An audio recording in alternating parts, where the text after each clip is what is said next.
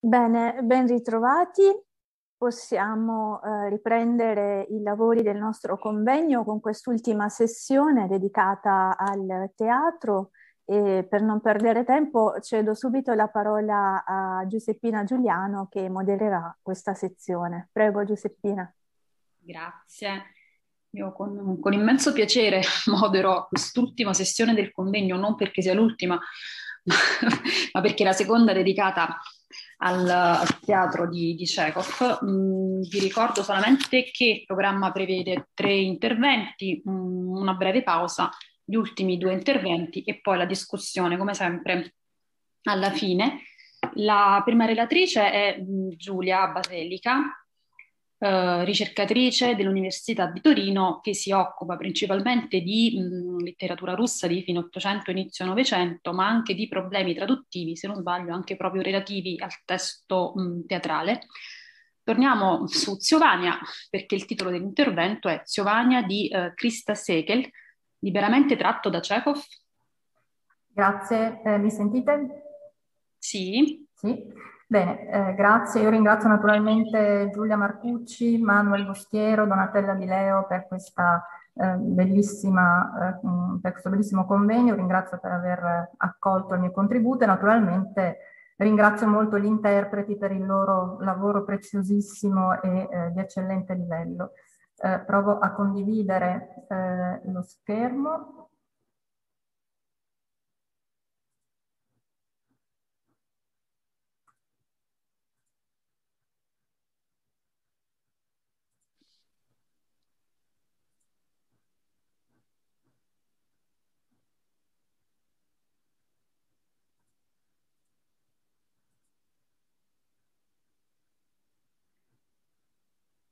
Io non vedo ancora nulla. Eh, infatti non riesco a...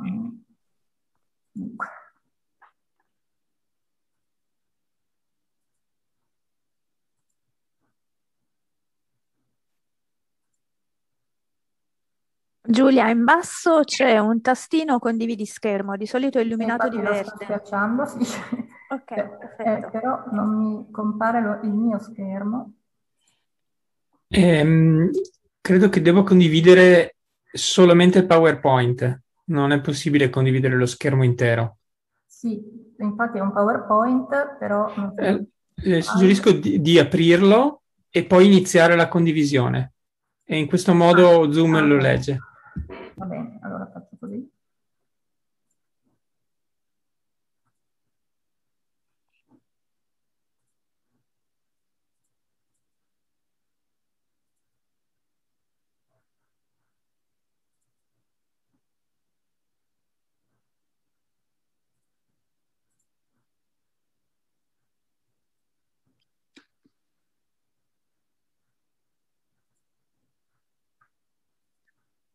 Oggi non abbiamo molta fortuna con le condivisioni.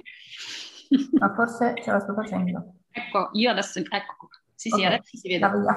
Grazie, scusate. No, no, figurati, prego. Allora, alla prima rappresentazione italiana del dramma cecoviano Zio Giovanni del 3 maggio 1922 a Firenze al Teatro Niccolini, eh, messo in scena dalla compagnia di Uberto Palmarini, dovevano seguirne nel corso di un intero secolo numerose altre, tra le più note nella seconda metà del Novecento,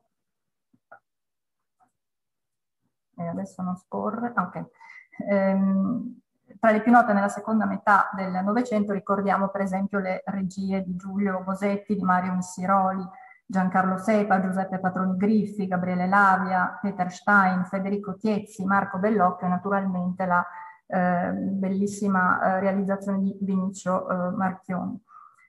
Ehm, ecco, eh, quindi con i drammi Chaika, Trisestri e Vishnu Sat, Piadiavania, in virtù della sua continua e assidua presenza sulla scena teatrale italiana e dell'attenzione da parte dell'editoria di cui il testo è oggetto, occupa un posto importante nel repertorio teatrale italiano, oltre che verosimilmente nel canone teatrale occidentale, nonostante le osservazioni di Harold Bloom il quale esclude l'opera cecoviana dal canone occidentale a favore della produzione teatrale di Ibsen.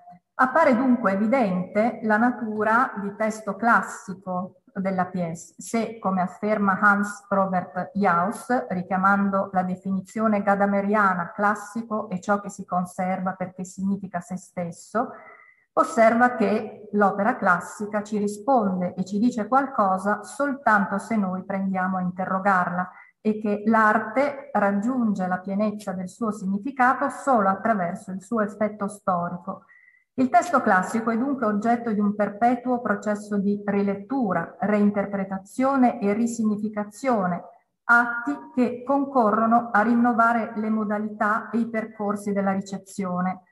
Un rinnovamento che deve di necessità scegliere e abbreviare, ma che con questa operazione necessaria riesce ad animare e ringiovanire il passato. Jauss riesamina il concetto di attualizzazione, riaffermandone il valore funzionale e tuttavia rinominandolo con il termine ringiovanimento. Si potrebbe forse ipotizzare un tale intento nella rilettura teatrale di Giagia Bagna proposta dalla regista ungherese Krista Szekely e messa in scena dalla Compagnia del Teatro Stabile di Torino dal 7 al 26 gennaio 2020 al Teatro Carignano della stessa città. I quattro atti della versione di Krista Sekeli si svolgono tutti all'interno di una struttura di vetro trasparente a forma di parallelepipedo, assimilabile a una veranda affacciata su un podere e simbolicamente identificabile in una grande serra. Al suo interno un tavolo con alcune sedie e un frigorifero, sulla sommità del quale si intravedono un bollitore, una bottiglia, dei piatti e alcuni bicchieri. Le note di regia riportate da Chekhov suggeriscono innanzitutto quattro cambi di scena, ognuna precisamente caratterizzata da alcuni oggetti. Il primo atto è ambientato nel giardino, nel viale, all'ombra di un vecchio pioppo, una tavola è apparecchiata per il tè ed è visibile il samavar. Vi sono panchine, su una delle quali è appoggiata una chitarra, e sedie. Non lontano dal tavolo vi è un'altalena, nel secondo atto l'azione si svolge nella sala da pranzo dell'abitazione di Serebriakov, mentre la scenografia dell'atto terzo riproduce il salotto nel quale si vedono tre porte, una a destra, una a sinistra e una al centro. Dettagliata è infine l'ambientazione del quarto atto. Nella camera da letto di Ivan Pitrovic, utilizzato anche come ufficio della proprietà, Compaiono un letto, un grande tavolo sistemato accanto alla finestra, cosparso di libri contabili e carte di ogni genere, una scrivania, degli armadietti e una bilancia. Vi è anche un tavolo di piccole dimensioni, riservato ad Astrof, con l'occorrente per il disegno, i colori e una grande cartella per riporvi i disegni. Alla parete è appesa una carta dell'Africa. È inoltre visibile una gabbia con uno storno. Completa l'arredamento della stanza un enorme divano foderato di tela cerata.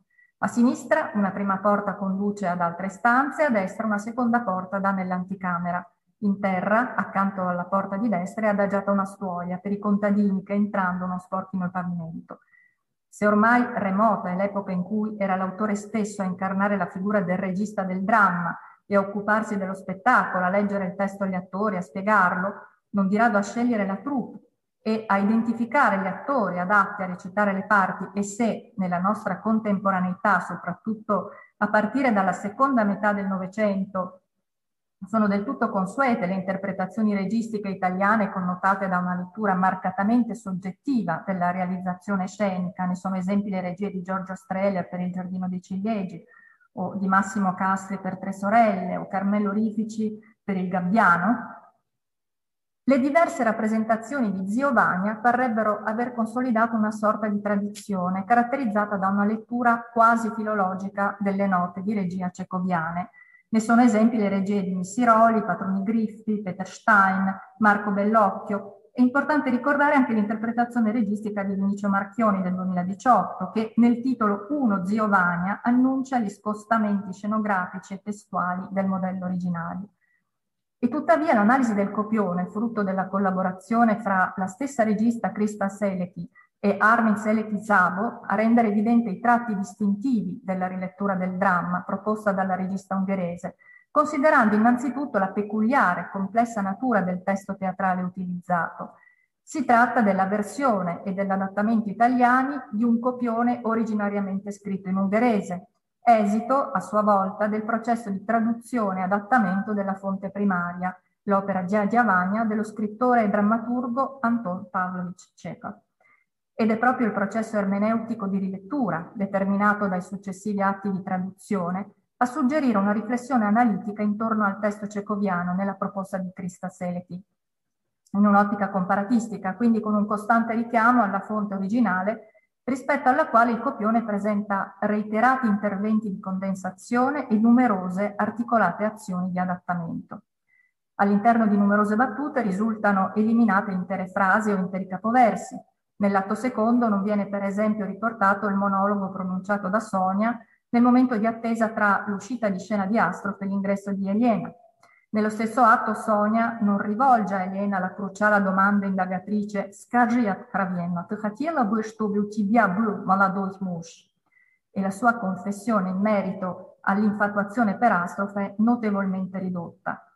Nell'atto quarto, lo scambio di battute fra Elena e Astrof è una sintesi dell'originale cecoviano, nel quale Elena dichiara di trovare Astrof interessante e originale, e legittimando se stessa con le parole «Zachem scrivait», per poi concludere il suo discorso proponendo ad Astrof una stretta di mano, suggellando il sentimento di amicizia, al solo possibile, che li lega. Nella versione di Crystal Sekeli la replica di, El- di Aliena è notevolmente più concisa. Non esprime il proprio giudizio sulla persona di Astrof, non gli propone di congedarsi da amici e si limita ad ammettere, dopo aver confessato, come nell'originale cecoviano, di essersi invaghita di lui, le seguenti parole, penso di essermi innamorata di te, un po', ricordami così. Poderosa è la strategia di adattamento cui il testo cecoviano è stato sottoposto, con esiti articolati e interessanti. Il primo, e più evidente, consiste nella trasposizione cronologica dell'intreccio, collocato non nell'ultimo scorcio del XIX secolo, bensì nella nostra contemporaneità. Ne sono evidenti indizi l'allestimento scenico nel suo insieme, come si è accennato la struttura che occupa il palcoscenico lascia intravedere un frigorifero, i costumi indossati dagli attori, e eh, gli oggetti di scena, eh, sono essenziali in realtà gli oggetti, spiccano tuttavia il computer portatile di Astrof e il cestino di plastica per la spazzatura. Al personaggio di Alexander Serebiakov viene attribuita una diversa identità professionale e culturale. Il cecoviano professore a riposo diviene un regista incompreso e fallito.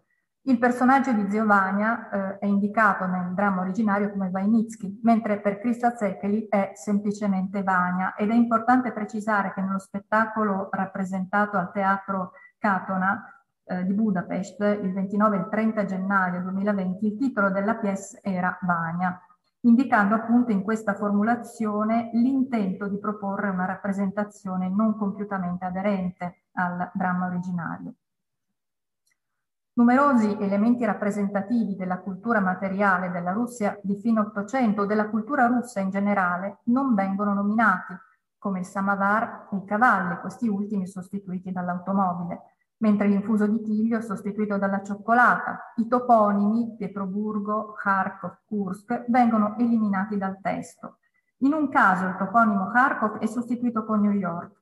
Nell'atto primo Maria Vassilievna annuncia di aver ricevuto eh, da Kharkov non un opuscolo di Pavel Alexandrovich, anzi scusate, annuncia di aver ricevuto da New York non un opuscolo di Pavel Alexandrovich, bensì il nuovo libro di Judith Butler, The Senses of the Subject. Sono analogamente rimossi riferimenti a scrittori e ad artisti russi, sostituiti con nomi di scrittori e artisti più delle volte non russi, Così Serebriakov chiede a Elena di cercare per lui non il volume di poesie di Konstantin Batюshka, bensì il trattato La filosofia nell'arte di Hegel. Nell'atto terzo Vania esprime il proprio rammarico per l'impossibilità di esprimere il proprio talento e la propria bassa intelligenza, quindi di diventare non un nuovo Schopenhauer o un nuovo Dostoevsky, bensì un nuovo Picasso o un Thomas Mann mentre nell'atto secondo la podagra di Turgheniev, poi diventata angina pectoris, si trasforma nei, nei dolori articolari di Tarkovsky, preludio al cancro ai polmoni che colpì il regista russo. Cospicue le alterazioni del registro linguistico, in particolare nell'eloquio di Zio Vania e di Astrof, i quali, non di rado, ricorrono a espressioni volgari.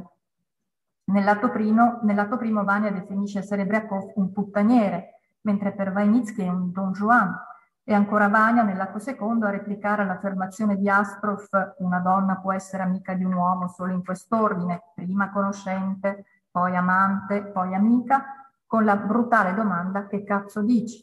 In luogo del commento Pashliaceskaya Filosofia. Astrof, nell'atto quarto, commenta l'osservazione di Vania il mondo è andato fuori di testa con l'espressione che stronzata, mentre il testo cecoviano riporta le parole nu i grupa.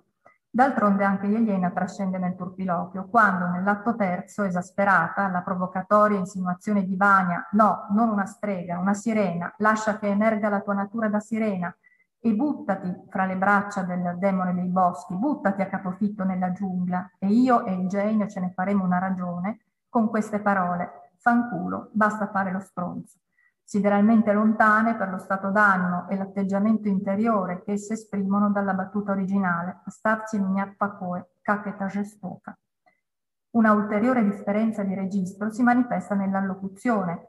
Osserviamo che gli allocutivi di cortesia indicati da Chekhov divengono, nella variante di Krista Sekeli, allocutivi naturali, così neutralizzando non soltanto sul piano formale la, la distanza relazionale tra alcuni personaggi.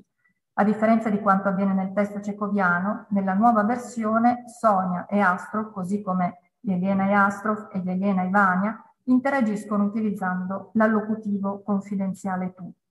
Se infine nel testo originale Maria Vassilievna si rivolge al figlio Ivan chiamandolo Jean, nella versione della regista ungherese Jean diventa Vania, e si elimina così la sottile allusione alle ambizioni della classe della proprietà terriera, ormai in declino, e tuttavia anacronisticamente ancorata a modelli comportamentali di impronta francese.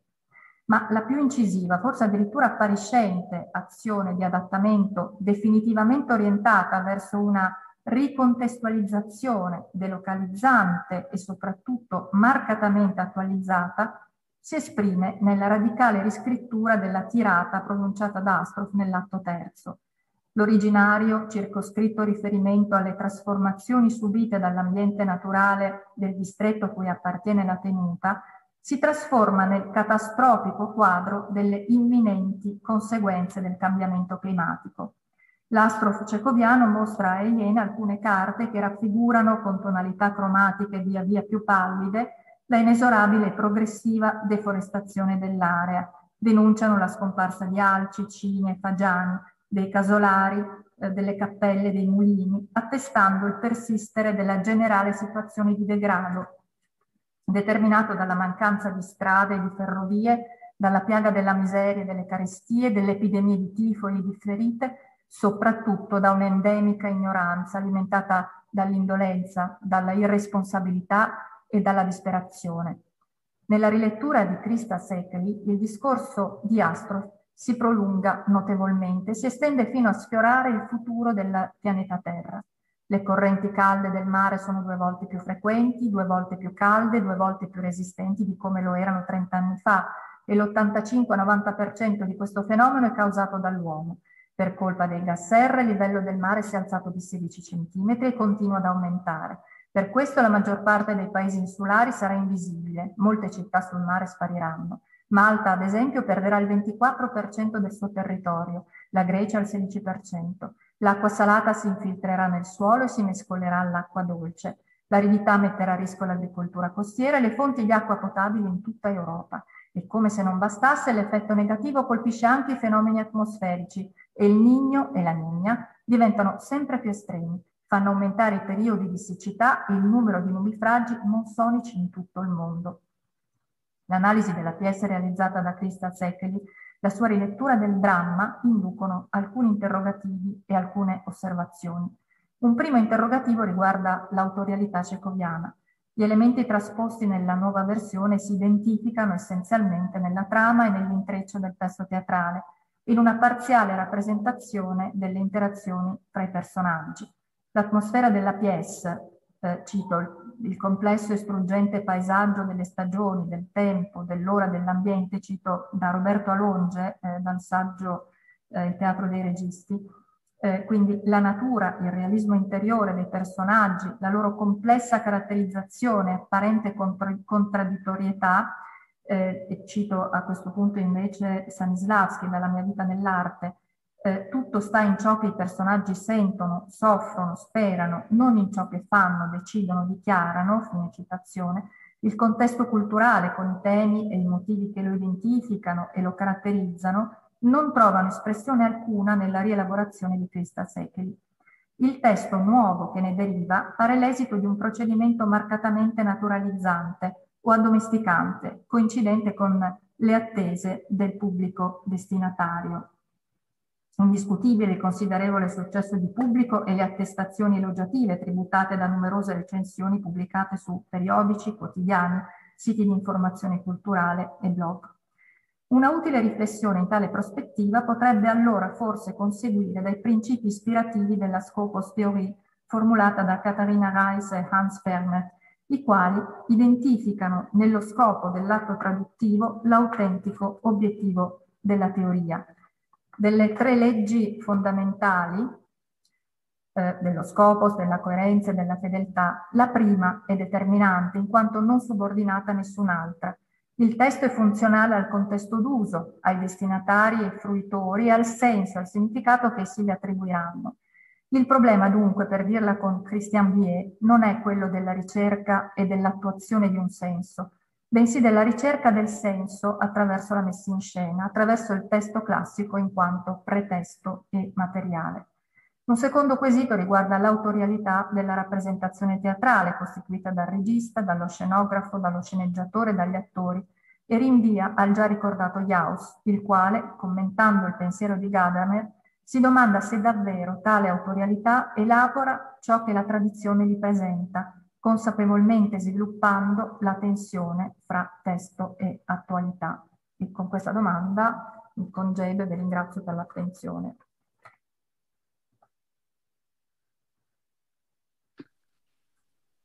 Grazie Giulia. E passiamo allora alla seconda relazione di Alessio Rischia, che è dottorando di ricerca in studi comparati, lingue, letterature e arti eh, presso l'Università di Roma Tor Vergata. E lui si occupa di letteratura francese e infatti ci parlerà degli echi di Chekhov nel teatro di Yasmina Reza. Buonasera a tutte, buonasera a tutti. Uh, mi sentite? Sì, sì. Perfetto. Nel frattempo che condivido lo schermo, eh, ringrazio il uh, comitato organizzatore, il comitato scientifico e gli interpreti. Eh, vado su file. In basso condividere lo schermo dovrebbe esserci in verde e dovrebbe apparire il file aperto. Ecco qua. Ok. Eh, però eh. questa è la lavagna, credo. Becchiamo sempre la lavagna. È perché è la prima. Eh, conviene togliere la condivisione, credo. E... Sì, e, e, prova a riaprire il, la presentazione, a tenerla aperta mentre condividi, dovrebbe funzionare così. Ok. La vedete? Perfetto, perfetto. Grazie mille. Allora, eh... allora, innanzitutto buonasera a tutti, buonasera a tutte. E quindi sono appunto un francesista, non sono uno specializzato in uh, Chekhov ovviamente, ma oggi vi porterò gli echi di Chekhov nel teatro di Yasmina Reza, uh, scrittrice contemporanea francese, oggetto di studi del mio dottorato di ricerca. Ok. Allora, chi è Yasmina Reza? Attualmente è insieme a Molière la drammaturga più rappresentata al mondo. Ehm, nei teatri di tutto il mondo. Uh, in un'intervista a Philippe Billière, uh, alla domanda quale fosse il suo grande maestro letterario, lei risponde Le grand maître, c'est Chekhov. Eh, Hélène Jacomar, professoressa della University of Western Australia, attualmente una delle più grandi studiose eh, di Yasmina Reza, eh, in un volume a lei dedicato, scrive L'œuvre de Reza entretien avec Chekhov des affinités indéniables. Qui potete vedere um, le pièce teatrali eh, di Yasmina Reza. Eh, alcune di queste sono state tradotte in italiano, altre no. Eh, questo perché in Italia abbiamo avuto un passaggio eh, da una casa editrice ad un'altra, attualmente la traduzione è affidata da Delphi e lo stesso vale anche per il russo. Infatti, Conversation après un enterrement eh, non è stata ancora tradotta in italiano, ma è stato tradotto in russo. Eh, quando Yasmina Reza scrive la prima pièce teatrale, ha appena 27-28 anni e la pièce fa un ottimo successo in Francia. La seconda pièce invece, La Traversée de l'hiver, La traversata dell'inverno, è certamente la pièce teatrale più cecoviana di tutte, non solo dal punto di vista della forma, ma anche dal punto di vista dell'atmosfera e del clima morale che si respira all'interno di quest'opera. Infine, Art è la pièce che consacra Yasmina Reza a livello internazionale, pièce che è stata rappresentata da Mosca fino a New York. A destra potete vedere infatti un fotogramma. Infine un, una breve postilla per, per um, Le Dio du Carnage, il dio del massacro, dal quale è stato tratto un film di Roman Polanski con Christoph Waltz, Jodie Foster e Kate Winslet. Anne-Marie Laboté purtroppo ha avuto sfortunatamente solo due rappresentazioni a Francoforte eh, perché come sappiamo è scoppiata poi la pandemia. Eh, questi scrittrice anche di romanzi e di racconti brevi come Amber Kleiber, racconto breve autobiografico. L'ultimo romanzo è uscito quest'anno ed è Serge. Ora, la scrittura di Resa si caratterizza per una disposizione ostinata a evitare la tragedia. Così scrive Denis Guénoux, professore eh, di teatro alla Sorbonne Université. La particolarità delle pièce di Resa è questa loro sconcertante dedrammatizzazione. La, cri- la crisi si annuncia, si costruisce in un crescendo e infine all'apice della tensione drammatica quando il lettore, quando lo spettatore attende l'epilogo tragico, ecco che la crisi viene sciolta senza preavviso.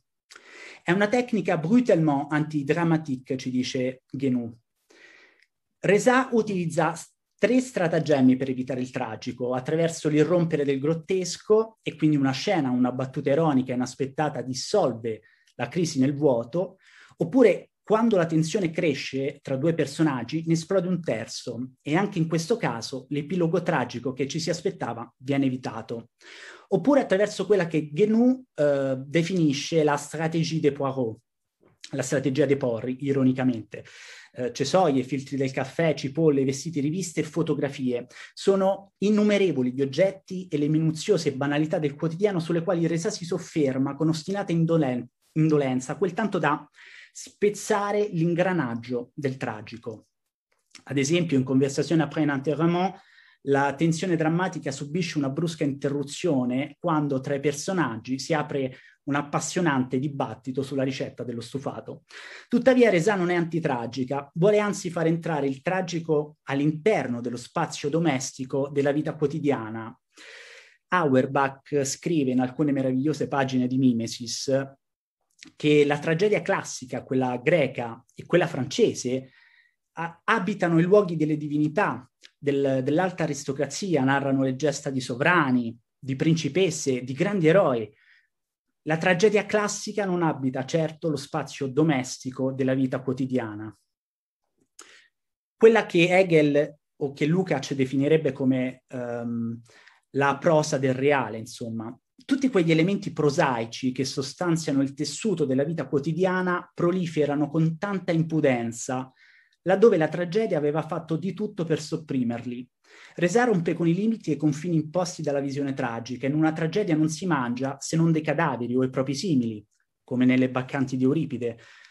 Ma il cibo nella sua dimensione ordinaria è proscritto, così come gli oggetti, i vestiti e tutte le attività corporali elementari, Resa vuole l'ordinario, ciò che Bakhtin definì il basso corporeo, le malattie, gli organi, le produzioni del corpo, elementi tipici del comico popolare. Ora, quindi le, i drammi di Yasmina Resa non possono essere tecnicamente classificati come tragedie. A causa di questo suo atteggiamento a evitare la tragedia, a procrastinare la tragedia. E tuttavia ci risulta eh, semplicistico anche classificarle come commedie. E questo perché in tutti i drammi di Yasmina Reza si ha eh, la sensazione di una tragedia incombente, come un fantasma che aleggia nell'atmosfera dell'opera. Qui ho messo anche un pic- una piccola citazione di Angelo Maria Ripellino. Uh, Chekhov accresce la sorditezza della vita ordinaria con riferimenti continui a cibi e a bevande. Come abbiamo visto appunto nella strategia di Poirot, è un elemento questo essenziale uh, nel, nel, teatro di Yasmina Reza. Teatro della parole, non dell'action, ci dice Guénon. Vi porto il caso dell'homme du hasard, uh, l'uomo del caso eh, pièce che poggia interamente sull'intreccio di due monologhi interiori. Eh, ci troviamo all'interno del vagone di un treno, ci sono due personaggi, lui è uno scrittore famoso, lei è una sua ammiratrice, solo alla fine trovano il coraggio di parlarsi. Ora, Reza ha avuto eh, non poche difficoltà a far rappresentare questa pièce che verrà rappresentata un anno dopo la sua scrittura. Questo perché una pièce, è una pièce totalmente priva di azione. Durante tutto eh, tutto, eh, tutta la rappresentazione, noi osserviamo due attori seduti su un vagone di un treno e seguiamo i loro pensieri, tant'è che i registi eh, la definivano troppo antiteatrale per essere rappresentata. I personaggi di Reza, alla maniera di quelli di Chekhov, sembrano non provare alcuna vera necessità di dire e di agire, irrimediabilmente soffocati in un'atmosfera generale di lassismo, di abulia, la trama dei dialoghi è densa di aneddoti e di digressioni, si sviluppa per frammenti. I personaggi ora si interrompono, ora riprendono, passano da un discorso all'altro, ora lo lasciano in sospeso. Di tutto pur di riempire il vuoto del silenzio. La traversée dell'Iber, abbiamo già detto, è forse la pièce più cecoviana. È un altro esempio di antiteatre. Titolo cecoviano è stato fatto notare da Hélène Jacomard, che annuncia un'ambiguità. È un passaggio durante l'inverno, un passaggio da una stagione all'altra o una traversata nel deserto, una sorta di esilio. Pièce qui met en jeu une ambiance très proche, laquelle vaut à son auteur le rapprochement avec Chekhov. Pièce ambientata in un hotel tra le montagne svizzere, all'interno del quale i personaggi trascorrono le loro vacanze estive. I personaggi sembrano soffrire di una mancanza di energia vitale che sperano di recuperare attraverso il contatto con la natura che li circonda. Anche da questo punto di vista, questa pièce ricorda uh, la montagna incantata, la montagna magica di Thomas Mann. Non sono in questa pièce particolarmente presenti gli oggetti dell'ordinario, è presente invece l'air, l'aria, il vento, il paesaggio, le montagne e soprattutto la musica. Questi elementi sospendono la drammatizzazione, interrompendo bruscamente i dialoghi, sgonfiando quindi la tensione drammatica. Ricordiamoci la strategia de Poirot. Ce théâtre, aussi antithéâtral que possible, toute musicale qui se dégage de ces, euh, de, de ces longs cheminements, de ces silences, sa composizione drammatica è fondamentalmente musicale, ci dice la Sophie in un celebre saggio del 59 su Chekhov, cercherò di dimostrarvi anche quanto la musica sia importante all'interno del teatro di Yasmina Reza. Ora, sia nelle, nei drammi che eh, nei romanzi eh, di Yasmina Reza, i dialoghi accentuano l'amarezza della solitudine. I personaggi sono monadi che ascoltano di preferenza se stessi, ognuno chiuso nei propri pensieri e nei propri dolori. Non a caso Reza insiste regolarmente sull'importanza del silenzio e ancora una volta l'influenza di Chekhov sul teatro dell'autrice si rivela particolarmente importante. Un teatro caratterizzato da una quasi totale assenza di azione e quindi del motore drammatico attraverso il quale si generano i dialoghi che, a causa di ciò, rischiano continuamente di precipitare in monologhi. Di qui l'abbondanza di pause. Molto indicativi in questo senso sono gli apart, gli apart dei personaggi in AR. Eh, I tre personaggi di AR, infatti, di volta in volta eh, rivolgono direttamente al pubblico i loro pensieri, eh, creando delle pause nei dialoghi tra di loro. E l'importanza della musica. Non solo la musica è onnipresente, in tutti i drammi di Yasmina Reza c'è sempre il suono di un violino in lontananza, eh, l'irrompere delle note di un pianoforte sulla scena. Eh, la musica diventa un vero e proprio fil rouge nel racconto breve, molto autobiografico, a Merklavier. Lo vediamo fin dal titolo. A Merklavier, infatti, è una sonata di Beethoven, una delle più difficili, che il padre pianista eh, della scrittrice, nonché del protagonista di questo racconto, non riesce più a suonare a causa della vecchiaia e dell'incedere della malattia.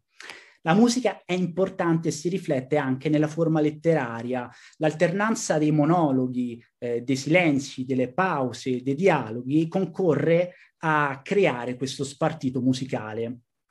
Ora, eh, per meglio riassumere gli elementi in comune tra il teatro di Chekhov e il teatro di Yasmina Reza, ho messo qui tre piccole citazioni uh, sul teatro di Chekhov. Scrive Stanislavski che le opere di Chekhov sono ricchissime di azione, ma non di tipo esteriore, bensì interiore.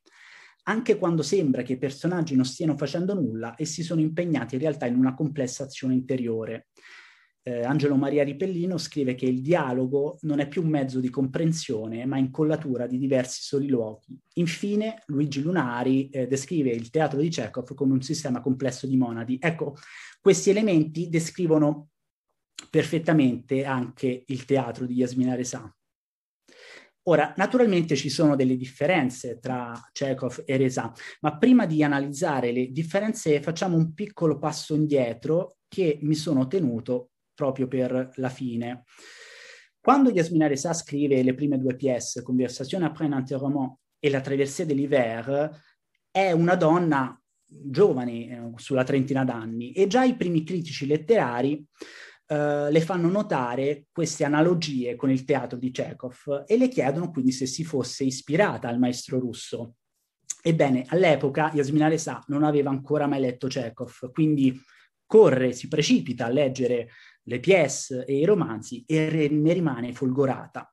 Tutt'oggi Yasmina Reza sente di avere delle affinità elettive con il maestro russo e infatti non è un caso, non è un caso se nel 2017 lei dirà Le Grand Maître, c'est Chekhov. Ritornando uh, quindi alle differenze tra Chekhov e Reza, cerchiamo anche di capire quale sia il nucleo essenziale del teatro, dell'universo letterario di Yasmina Reza. Teatro che si modella sullo stile della conversazione. I personaggi appartengono alla borghesia medio-alta, lavorano generalmente in ambienti scientifici o umanistici e si esprimono con un vocabolario spesso ricercato, a volte anche tecnico, che testimonia un certo gusto per la ricerca di un lessico preciso da parte della scrittrice. L'appartenenza ad una classe sociale in alcuni casi piuttosto alta la si percepisce anche nei rapporti umani. Le savoir-vivre si rivela spesso problematico, ci dice Bouchetard. La riflessione sul linguaggio, sul ruolo della parola e sull'impossibilità della comunicazione attraversa tutta l'opera di Reza e tuttavia la questione che affronta la scrittrice non è tanto il problema dell'incomunicabilità quanto l'incapacità stessa dell'uomo di dominare la parola. Lo abbiamo visto con l'esempio dell'Homme du hasard. Solo alla fine i due protagonisti trovano il coraggio di parlarsi, anzi trovano il coraggio di agire, di fare una piccola azione banale che è quella di aprire il finestrino del vagone e da quell'azione scaturisce un dialogo, anch'esso totalmente banale, Ciò che affronta Yasmina Reza è la difficoltà di prendere la parola. Ora, Yasmina Reza mostra nelle sue pièce l'implosione delle relazioni sociali, amicizia, amore, ma anche le semplici regole della convivenza civile tra le persone. I non detti, i sottintesi, le frecciatine e tutte quelle frazioni al codice del savoir-vivre, tutte quelle scorie che all'interno dei rapporti sociali si sedimentano giorno dopo giorno, anno dopo anno, fino a una vera e propria polveriera pronta ad esplodere. Le relazioni sociali sono un campo minato, Resa mostra la loro disintegrazione. Similmente a quello che avviene, ad esempio, nei romanzi di Scott Fitzgerald. Pensiamo a The Beautiful and Damned, Tender is the Night, Great Gatsby. Uh, ciò che mostra Fitzgerald è la deflagrazione dei rapporti sociali. Tant'è vero che eh, Fitzgerald è uno scrittore eh, da sempre amato da Reza fin dall'adolescenza. Nelle Dio du Carnage, nel Dio del massacro, Reza non esita a fare a pezzi le fondamenta stesse della civiltà. In una delle prime battute, infatti, uno dei personaggi si domanda retoricamente: Par chance, il existe ancora un art de vivre ensemble, no? Esiste per caso ancora uh, un'arte di vivere insieme? Ciò che minaccia costantemente i rapporti umani è la volontà di dominio, è la volontà di sopraffazione sull'altro, tanto nei rapporti di amicizia quanto e soprattutto nei rapporti sentimentali. C'è sempre un, un polo che cerca di sopraffare l'altro, sia nella sfera psicologica che in quella fisica. È come se Yasmina Reza ci mostrasse che alla base dei rapporti umani vigono le leggi del Dio del massacro. Ora, e mi avvio alla conclusione, eh, questa è forse la più grande differenza che troviamo tra Chekhov e Yasmina Reza, una differenza non solo dal punto di vista letterario, ma io direi proprio una differenza dal punto di vista esistenziale, di visione del mondo. Angelo Maria Ripellino scrive che la vita, nell'universo letterario di Chekhov, non può togliere la libertà di inventare un futuro. Il presente non conta, è gelido e desolato. Il solo modo di vivere è vivere per il futuro, cullarsi in questa meravigliosa illusione. In Yasmina Reza scopriamo invece una totale assenza di futuro. Quasi tutti i personaggi di Reza sono uomini e donne maturi, da 50 60 anni, ultra sessantenni, e questo dato è, dato è tanto più sconcertante se si pensa che la prima pièce di Reza la scrive quando lei ha 27-28 anni ed è quindi ancora una ragazza eh, molto giovane. Nessuno di loro ha lo sguardo rivolto verso il futuro, ma solo verso il passato e il presente, un eterno presente che non ha vie di fuga in avanti, ma solamente all'indietro. Il futuro è assente anche nei tempi verbali. In tutti i drammi di Yasmina Reza non ci sono verbi coniugati al futuro. L'absence du futur fait une des grands énigmes, un des grands secrets de son texte. L'assenza del futuro è uno dei grandi enigmi e dei grandi segreti del suo testo. Grazie a tutti per l'ascolto. Grazie Alessio. Grazie mille. E adesso facciamo un, cronologicamente un passo indietro, ma torniamo in area slava con la prossima relatrice, Valentina Barbaniuk, che, mh, che insegna al Dipartimento di Pedagogia, Letteratura Straniera e Ucraina all'Università di Kharkov e ci parlerà della modernizzazione del Giardino dei Ciliegi di Chekhov nella letteratura ucraina degli anni 20 e 30 e credo che parlerà in russo. Valentina, здравствуйте.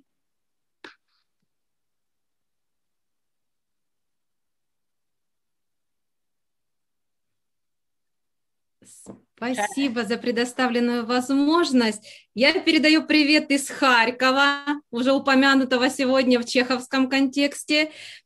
Э, очень благодарю всех за доклады интересные организаторов за возможность принять участие в конференции такого уровня высокого. Я сейчас запущу с вашего разрешения демонстрацию экрана. Угу. Хорошо. Хорошо? Да, видно. Э, видно, ну и начну, пожалуй. В современном мировом литературоведении аксиомой стала мысль, что 20-е столетие, наполненное историческими катаклизмами, невольно стало пятым актом чеховской пьесы «Вишневый сад». Мы поставили перед собой цель выявить общие национальные аспекты художественного восприятия чеховской пьесы «Завещание» украинскими писателями 1920-1930-х годов. Микола Куліш, Яков Мамонтов, Виктор Петров Домонтович были современниками, более того, их можно считать чеховскими современниками по году рождения, который относится к XIX веку. Однако и становление, и профессиональная реализация этих выдающихся представителей украинской литературы первой трети XX века были разными. Виктор Петров-Домонтович был единственным, чье формирование как интеллектуала-гуманитария происходило в стенах университета. Яков же Мамонтов и Микола Кулиш были самоучками. Впоследствии свою точку совместимости с советским режимом удалось, э, удастся найти только Виктору Петрову, э, Петрову Домонтовичу и Якову Мамонтову. Первый э, реализует себя как ученый, второй как партийный функционер в сфере театра и литературы. Микола Кулиш став к середине 1920-х годов одной из центральных фигур украинской литературной, общественной, художественной жизни, будет объявлен в 1934 году буржуазно-националистическим драматургом, арестован и приговорен к 10 годам соловецких лагерей, а в ноябре 1937 года расстрелян. Но обратимся к текстам э, этих писателей. Первая редакция пьесы Кулина Э, «Коммуна в степях» датируется 1925 годом, событие основано неимущими крестьянами. Конфликт разгорается между членами коммуны и бывшим хозяином хутора, который не может смириться с потерей своего имения. Фамилия хозяина, который пятый год, как убежал с хутора, подался за белыми, Вышневый. Читатель, знакомый с Чеховским театром, эту деталь не может оставить без внимания. Вишневые сады по Чехову уходят в прошлое. Возможно, поэтому украинский драматург дает бывшему владельцу фамилию Вышневый. Э, и Вишневый сад, и коммуна в степях начинаются с возвращения хозяев в свое имение, либо находящиеся под угрозой утраты, либо уже утраченное. Со времени бегства Вишневого прошло пять лет. Столько же лет, напомню, не была в своем имении Ироневская. В речи персонажей Кулеша неоднократно возникает образ сада, как в символическом, так и в буквальном смысле. Например, из сада вышла девка, вот вчера поливали сад, э, целый день ведрами воду носили, а постав машину, так она бы за час-другой весь сад залила бы. Где же мы сад теперь будем садить? что такое наша коммуна, не сад социализма, а сад сухих досад, ну и другие. Кулиш не конкретизирует видовую принадлежность сада, хотя, как известно, именно садок Вышневый стал памятной принадлежностью украинской культуры.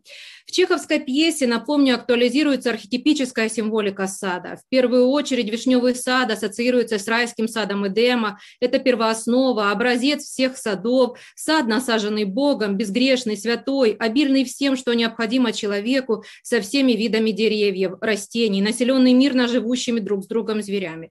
У Кулеша речь идет о коммуне, как о райском саде социализма, где не будет страданий и смерти.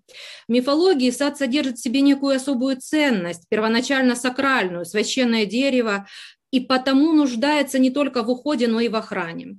У Антона Павловича бессменным хранителем сада и дома является Фирс. Именно его реплика оказывается финальной. Со смертью Фирса Чеховский сад остается без охраны, а в наступившей тишине слышно, как далеко в саду топором стучат по дереву. Примечательно, что пьеса Кулеша начинается с монолога именно сторожа деда Касьяна, который раньше охранял имущество хозяина, а сейчас сторожит земли коммуны. Силы его, как и чеховского фирса, на исходе. Цитирую. «Может, сядешь, старый, отдохнешь? А сяду, разве что. Может, и поспишь немножко. Ой, нет, как только засыпаю, так не поверишь, третью ночь хозяин мерещится».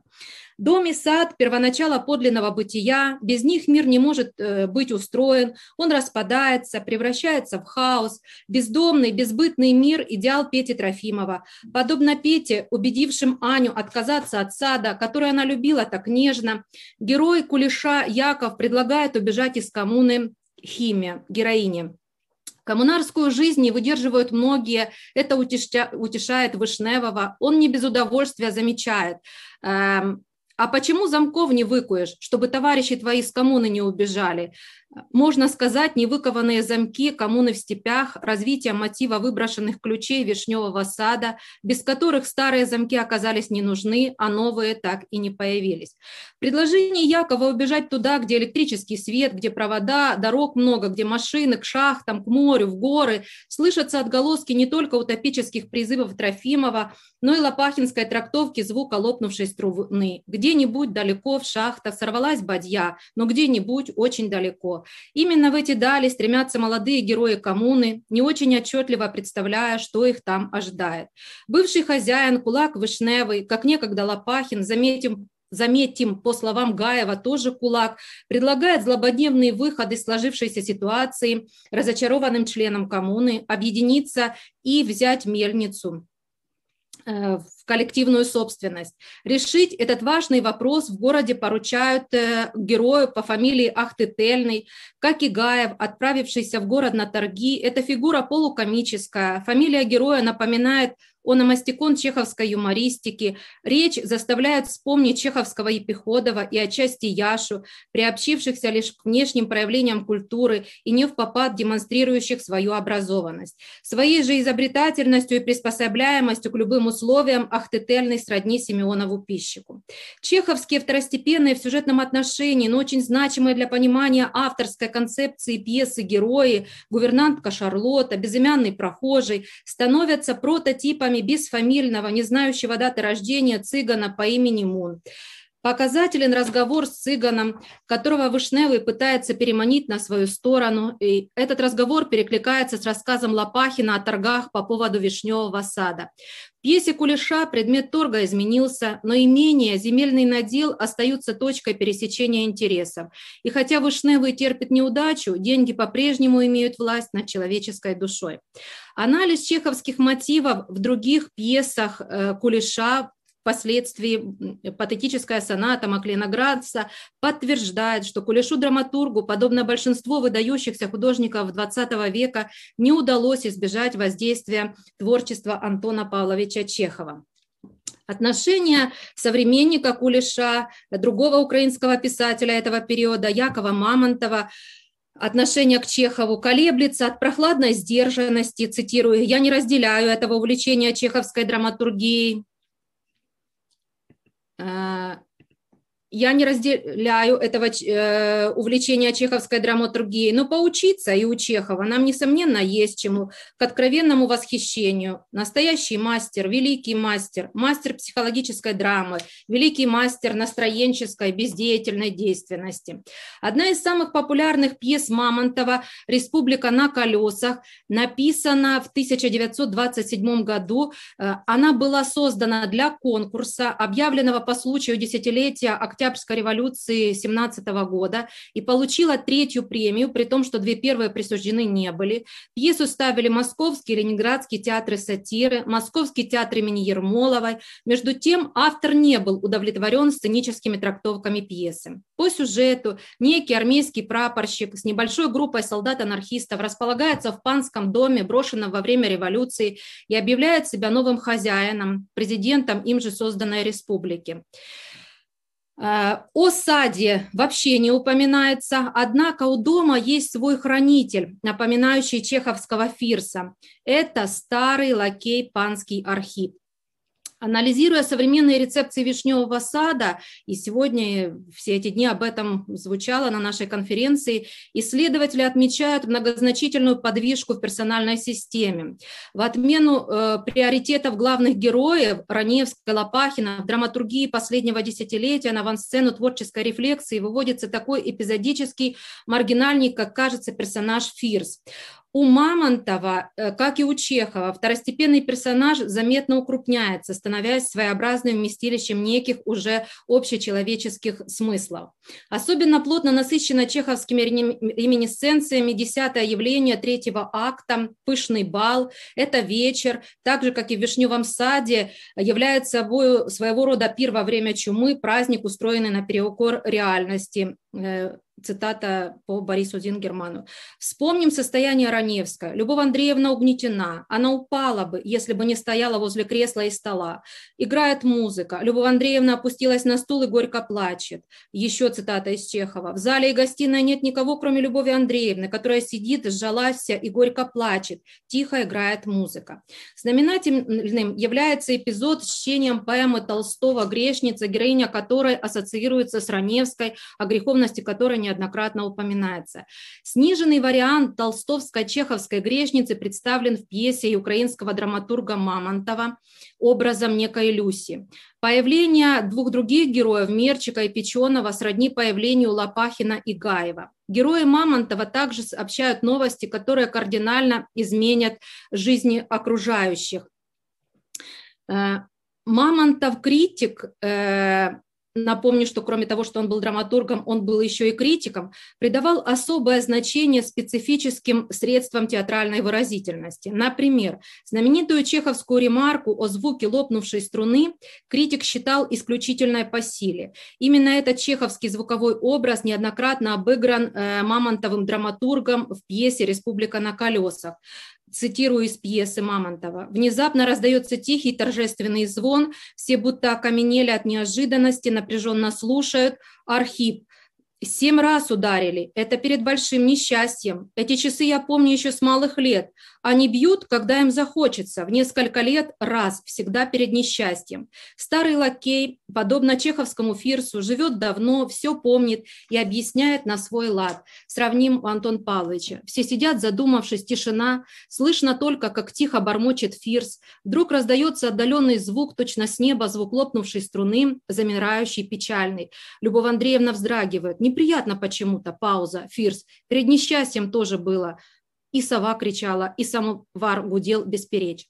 С часами, звук которых напугал героев, по революционному в пьесе Мамонтова разберется президент Дудка. «Господа», цитирую из пьесы, «будем веселиться». А часы к чертовой матери стреляют из револьвера. Часы разбиваются с жалобным звоном. Этот проступок напугал Архипа, который с ужасом бросается к Дудке. «Что вы натворили?» Напомню, что в пьесе «Три сестры» Чебутыкин, рассматривая фарфоровые часы, роняет их и разбивает в дребезги. Все огорчены, сконфужены, Чебутыкин, цитирую, «Может, я не разбивал, а только кажется, что разбил. Может быть, нам только кажется, что мы существуем, а на самом деле нас нет. Ничего я не знаю, никто ничего не знает. Конец цитаты. Разбитые часы символизируют разрыв с прошлым, завершение исторической эпохи и вместе с тем духовное омертвение, ущербность жизненной философии героев. Заканчивается сцена символично у Мамонтова. Тихо, как привидение, появляется Архип, подходит к разбитым часам и грустно качает головой. Архип. Еще при царе, царе Александре Михайловиче дали на покойной барыне. Конец, всему конец. Вытирает платком глаза. Набат. Мамонтов, будучи э, теоретиком театра, указывал на огромное обобщающее содержание заключительной чеховской ремарки. Цитирую из одной из из статьи Мамонтова. Идейный замысел автора в ней проявляется в наиболее конденсированной материализованной форме. Стук топора по дереву. Именно в этом и заключается высшее мастерство драматурга. Так написать пьесу, чтобы наиболее глубокое содержание ее, в конце концов, можно было проявить самым простым движением или звуком. Вслед за Чеховым Мамонтом завершает пьесу звуковым эффектом, используя набат. Напомним, что набат звучит и в двух предыдущих действиях мамонтовской пьесы, становясь обобщающим звуковым маркером. Как и у Чехова в пьесе Мамонтова, Набат создает атмосферу тревоги, напоминая о бушующей за пределами дома стихии, подталкивает человека к раздумьям не о сиюминутном, а о вечном. Украинский автор реализует представление о революции как о пожаре, разрушительная сила которого уничтожает прошлое и будущее, рушит иллюзии. Герои пьесы «Вишневый сад» уезжают, республики на колесах разбегаются, на станции ожидают новых хозяев, для этого меняют вывеску на большевицкую, Комический эпизод со сменой вывески оборачивается кровью и смертью. Возникший при смене вывески мотив красного цвета косвенным образом вновь отсылает к чеховской пьесе. В вишневом саде красный цвет ассоциируется с плодами вишни. Вишневые деревья во втором действии сочетаются с кладбищем, на что указывал в свое время Михаил Громов. Точно такое же сочетание находим в повести у Антон Павловича «Степь». Лейтмотив вишни тесно связанный с кладбищем и смертью. В пьесе Мамонтова усиливает возникшие ассоциации ассоциации «Красный, кровь, смерть». В отличие от предыдущих двух авторов, Петров Домонтович э, романист, и на момент появления его романа, э, который переводится буквально «без почвы», э, события этого романа разворачивается в обновленном индустриальном украинском городе Днепропетровске в 1920-30-е годы, уже было очевидно, что бесперспективным оказался не только бизнес-план предприимчивого Лопахина, но и обещание революционно настроенного Пети Трофимова. Его гордый человек так и не стал великаном, а к яркой звезде, которая горит там вдали, точно так же продолжали только идти неудержимо. А, Петрова, у Петрова Домонтовича, повторюсь, модернистский роман. В центре конфликта судьба уникального памятника национальной архитектуры Варяжской церкви, якобы построенной в городе в начале XX века. Варяжская церковь, символизирующая вечные ценности, оказывается под угрозой уничтожения, как в свое время поэтический чеховский сад. На драматургическую основу своего романа э, Петров Домонтович указывает читателю такими вкраплениями, как ремарка автора. Одним из ключевых в романе, как и в пьесах Чехова, являются мифологемы дерева и дома. Э, герой, имя которого Ростислав, этимологически прозрачный и трактуется как тот, который растет, в растерянности наблюдает индустриальный пейзаж. Цитирую, «Я не выдерживаю, представьте себе, ни единого дерева». У Петрова Домонтовича вокзал является непосредственным местом действия. Со временем вокзалы превратились в железнодорожные парки. Цитата. «От бывшей степи не осталось и следа. Семантика уничтожения усиливается, поскольку к потерянному дому и саду добавляется степь, еще один ключевой концепт э, чеховского творчества. Оба героя, и Раневская, и Ростислав Михайлович, возвращаются домой вынужденно, чтобы решить судьбу. Одна дома и Вишневого сада, который упоминается даже в энциклопедическом словаре, другой – Варяжской церкви. Произведения высокого искусства рассматривали как обычное строение, как помещение, что имеет такое-то и такое-то количество квадратных метров общей площади, которую можно использовать полезнее, чем до сих пор. Как мы помним, практичный чеховский Лопахин тоже среди достоинств сада выделяет, кроме его места расположения, площадь. Замечательного в этом саду только то, что он большой и предлагает снести постройки, вырубить сад, а участок сдать в аренду под дачи. Выясняется, что относительно церкви существует свой лопахинский проект, тоже снять все дома и вместо этого построить огромный блок-комбинат. Варяжскую церковь снести, и с архитектором-линником покончить. Ростислав Михайлович, подобно Раневской и Гаеву, ратуя за сохранение культурного памятника, хотел бы остаться в стороне от дискуссии, которая представляла собой что-то наподобие торгов. Второе действие, напомню, вишневого сада предваряет ремарка. Поле, старая покривившаяся давно заброшенная часовенка, возле нее колодец, большие камни, когда-то бывшие, по-видимому, могильными плитами и старая скамья.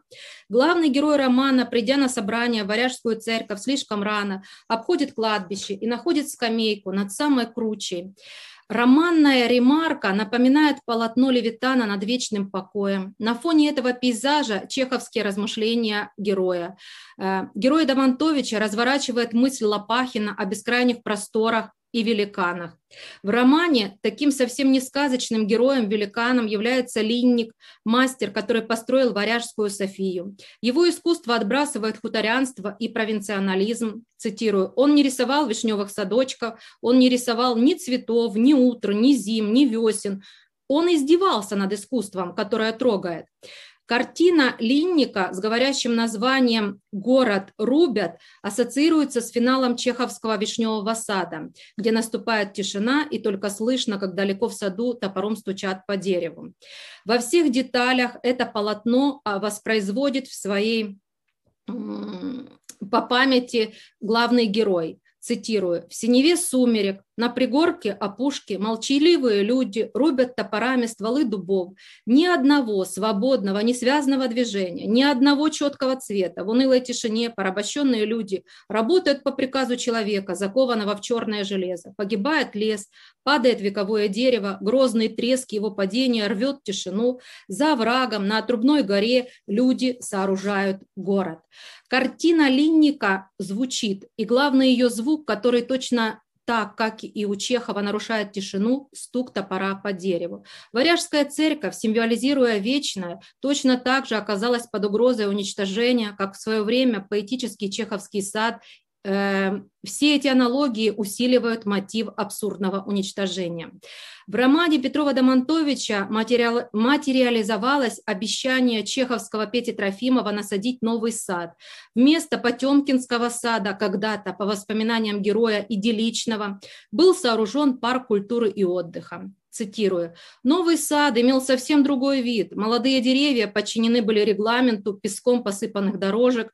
Цветы перестали быть тем, чем они были до этого, цветами. На клумбах производили цветы впечатления, нарисованных на фанере.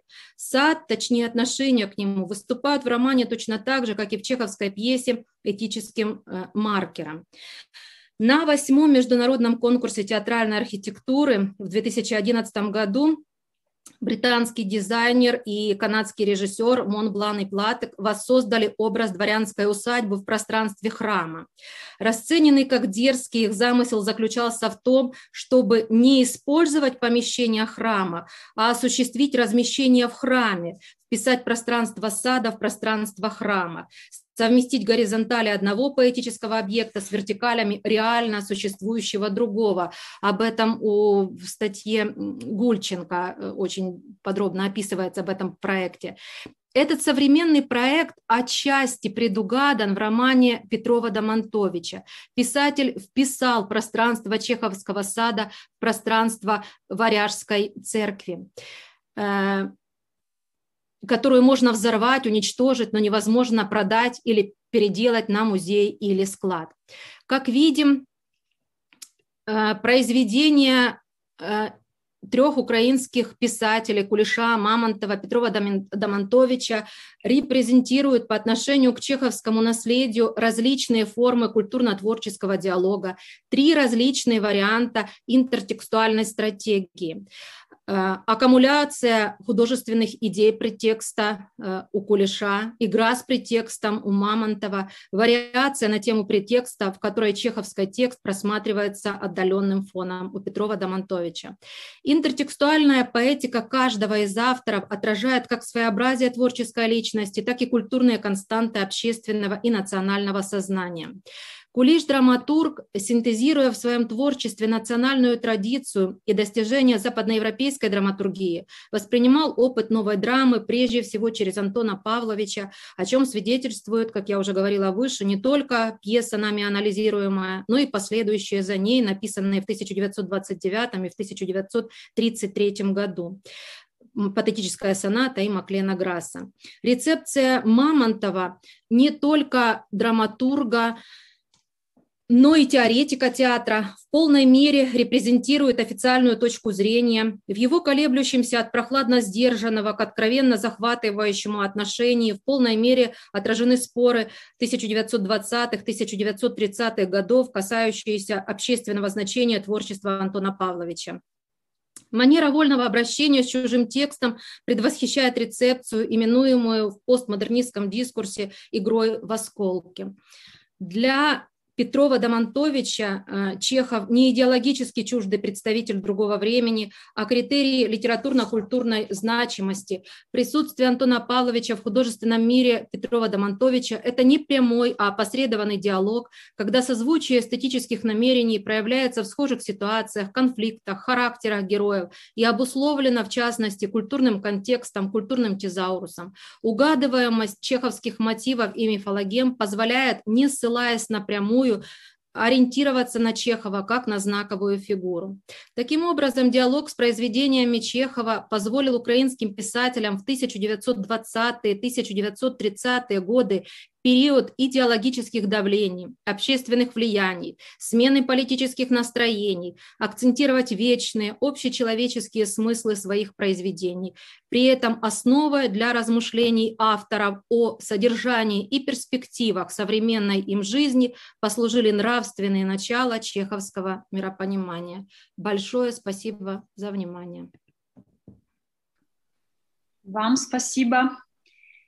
E dunque, se dalla regia non mi arrivano contrordini, noi facciamo una pausa fino alle 16 e ricominciamo alle 4, quindi con gli ultimi due interventi, la discussione anche relativa agli interventi che abbiamo appena ascoltato.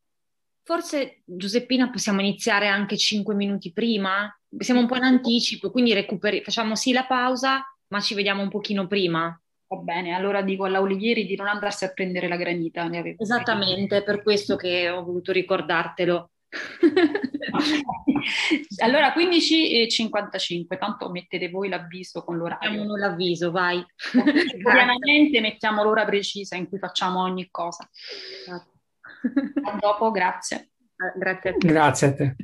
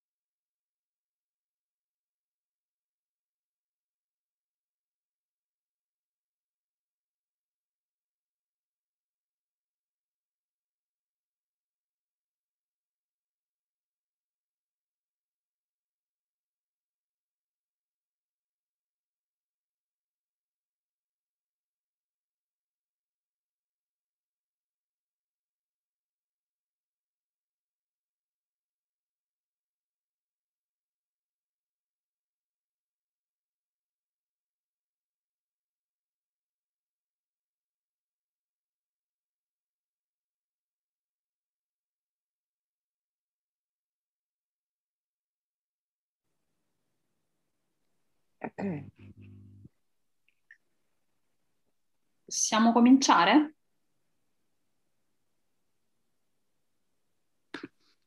Direi di sì, Giuseppina.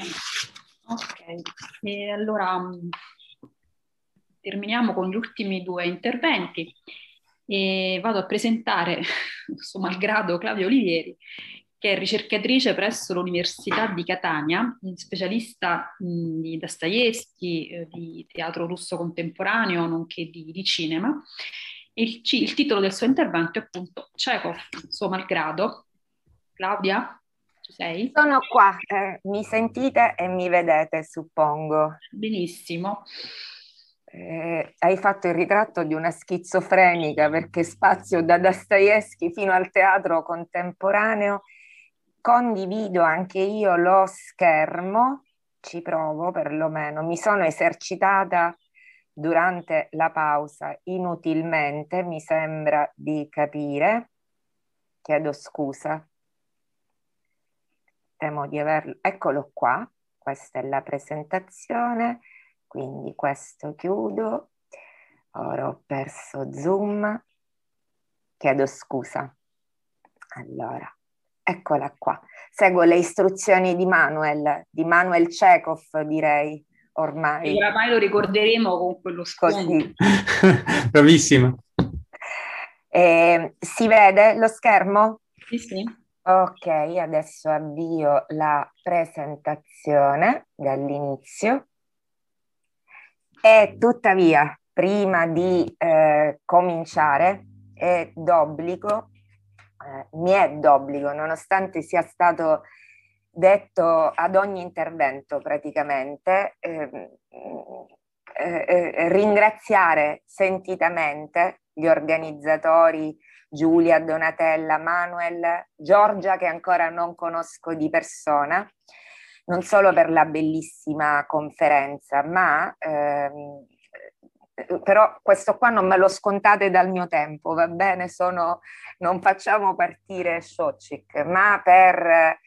Ehm, ci sono stati tanti momenti coinvolgenti in questi quattro giorni e mi chiedo che cosa faremo da domani mattina, cioè avrò l'effetto Costa Crociere, so cosa farete voi, non so cosa faremo noi partecipanti e direi che nonostante lo strumento che subiamo tutti da eh, un anno abbondante, voi vi è riuscito non solo a organizzare un convegno epico, secondo me, di altissima qualità scientifica, ma di questo non avevamo dubbi, dati gli organizzatori, il comitato scientifico, ma di restituire, di accorciare le distanze e restituire molta umanità a queste attività. E questo è veramente un valore aggiunto. Per, grazie di cuore, sapete che sono sentimentale, ma sento davvero di dirvelo. Non ringrazio gli interpreti, non perché non meritino il mio ringraziamento e tutta la mia ammirazione,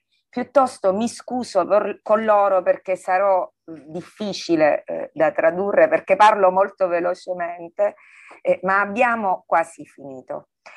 Eh, mi è stato fatto notare da uh, un amico che credo sia collegato che tanto io quanto Irene eh, siamo, che non conosco ancora personalmente, ma mi auguro di eh, rico- eh, recuperare presto, siamo delle ciliegine sulla torta. E devo dire che essere una ciliegia per Chekhov non è cosa da poco. Speriamo di essere una ciliegia cecoviana e non pushkiniana come nel colpo di pistola, quindi speriamo di non andare di traverso. Di cosa vi vorrei parlare? Eh, di un argomento che oggi è stato eh, parzialmente eh, trattato, che è stato, cui oggi si è già ha accennato Anna Maron, eh, che riguarda delle riscritture cecoviane, riscritture contemporanee ispirate a uh, Chekhov. Um, è uno spoiler su una ricerca che eh, sto conducendo in questo uh, momento perché non va avanti la presentazione, ok? Che sto conducendo in questo momento, quindi vi sarei particolarmente grata ove ce ne fossero eh, delle vostre suggestioni, critiche, suggerimenti e quant'altro. Il sistema di riscritture, lo mostrava magistralmente Anna Marogn, è molto molto ampio. Quelle sulle quali mi soffermerò io hanno una caratteristica eh, che le accomuna, ossia vedono tra i personaggi in scena lo stesso Chekhov. Oggi lo abbiamo intravisto, ma non ci siamo eh, molto eh, soffermati su Chekhov eh, eroe. Per raccontarvele, per descriverle, ho utilizzato due parametri, ossia il parametro della verosimiglianza, sono due parametri farlocchi entrambi. Uno è quello, vedremo che non, non reggono fino alla fine, ma era solo un tentativo per organizzare il discorso. Uno è quello della verosimiglianza, cioè le organizzo da quelle più inverosimili a quelle apparentemente più verosimili. L'altro che ne consegue è quello dei generi. Io ho immaginato dei sottogeneri che sono eh, il prequel, eh, lo spin-off, eh, eh la eh, mockumentary oppure eh, iperdocumentarietà e eh, Fanta Chekhov che è quello da cui eh, vorrei cominciare. Perché Fanta Chekhov? Mi riferisco a una pièce che oggi è già stata citata, perché nel primo gruppo in cui si collocano due pièce, eh, ehm, eh, Chaika di Konstantin Kastienko e eh, Vishnovy At Stanislavskava di Bagayev, Chekhov è un personaggio in scena sì, ma fantastico. Nella prima eh, lo abbiamo eh, intravisto oggi, è ehm, in scena nelle vesti di un ritratto, che tuttavia è un ritratto parecchio animato. Eh, nella seconda, nelle vesti di un provvido eh, provvidenziale angelo custode. Eh, entrambi i drammaturghi che vediamo eh, sono, adesso li vediamo entrambi, sono eh, appartengono, sono riconducibili alla scuola di Ekaterinburg di Nikolai Kalieda. Guardiamo la prima pièce molto brevemente, perché ripeto, ne ha già parlato ehm, eh, eh, Anna Maron, eh, dove il ritratto di Chekhov, eh, che campeggia in scena fin dall'inizio, con un fucile puntato, lo ha già citato stamattina Massimo Trie, che compare in quasi tutte le riscritture eh, che io ho analizzato, ehm, eh, campeggia in scena questo ritratto col fucile puntato ed è un ritratto che eh, mangia la torta che gli è offerta da Triplioff o Triplioff, che dir si voglia, parla rigorosamente per battute altrui eh, e eh, talvolta anche battute di, eh, altre, eh, di altre opere teatrali. Eh, sicuramente rispetto alla pièce di Bagayev, lo scopo di Kastienko non è tanto aggredire eh, Chekhov quanto la sua opera, che nell'ultima eh, eh scena, nel quinto atto, eh, eh, vediamo Brasiliesi, no? cioè vediamo vivisezionata eh, eh, Triplioff sappiamo che è animato dal sacro fuoco della scrittura e finalmente non fa altro che nell'ultimo atto eh, eh peraltro Chekhov è anche eh, scomparso perché ormai è stato sostituito dal manifesto di questo gabbiano vivisezionato, eh, non fa che eh, produrre un eh, gabbiano dopo l'altro, un gabbiano di carta aiutato da Dorn. Per Aliek Bagayev le cose stanno in una maniera un po' diversa. Eh, eh, do un attimo di pausa forse ai, eh, all'interprete perché eh, la sua aggressione nel giardino dei ciliegi di Stanislavski non è rivolta tanto al testo quanto al regista. Bagayev, che è uno scafato uomo di teatro, eh, fa riferimento a un fatto, eh, a fatti che occorrono veramente sulle scene russe, cioè che una troupe si è, la, eh, cioè, si è divorata un regista. La troupe fa, a cui si fa riferimento in questa intervista che vedete nella slide e eh, lo fa metaforicamente, nella pièce di Bagayev questo eh, avviene realmente. Gli attori eh, mangiano, ammazzano e mangiano il regista. Gustano l'arte, viene detto. Purtroppo non, non posso eh, citare eh, come vorrei le pièce che sono molto divertenti. Nella slide ho previsto i collegamenti ipertestuali ai, ai testi veri e propri nel caso qualcuno li volesse eh, approfondire. Tantomeno, ahimè, parlerò degli allestimenti che in questi giorni abbiamo visto essere fondamentali. Per cui eh, regi- il, gli attori gustano l'arte mangiando il povero regista e qui eh, mi sentirei di tranquillizzare Vinicio Marchioni che ieri sera si diceva, si dichiarava preoccupato per sue azzardate scelte eh, per eh, scelte di regia che lui riteneva azzardate che Chekhov gli comparisse in sogno rimproverandolo.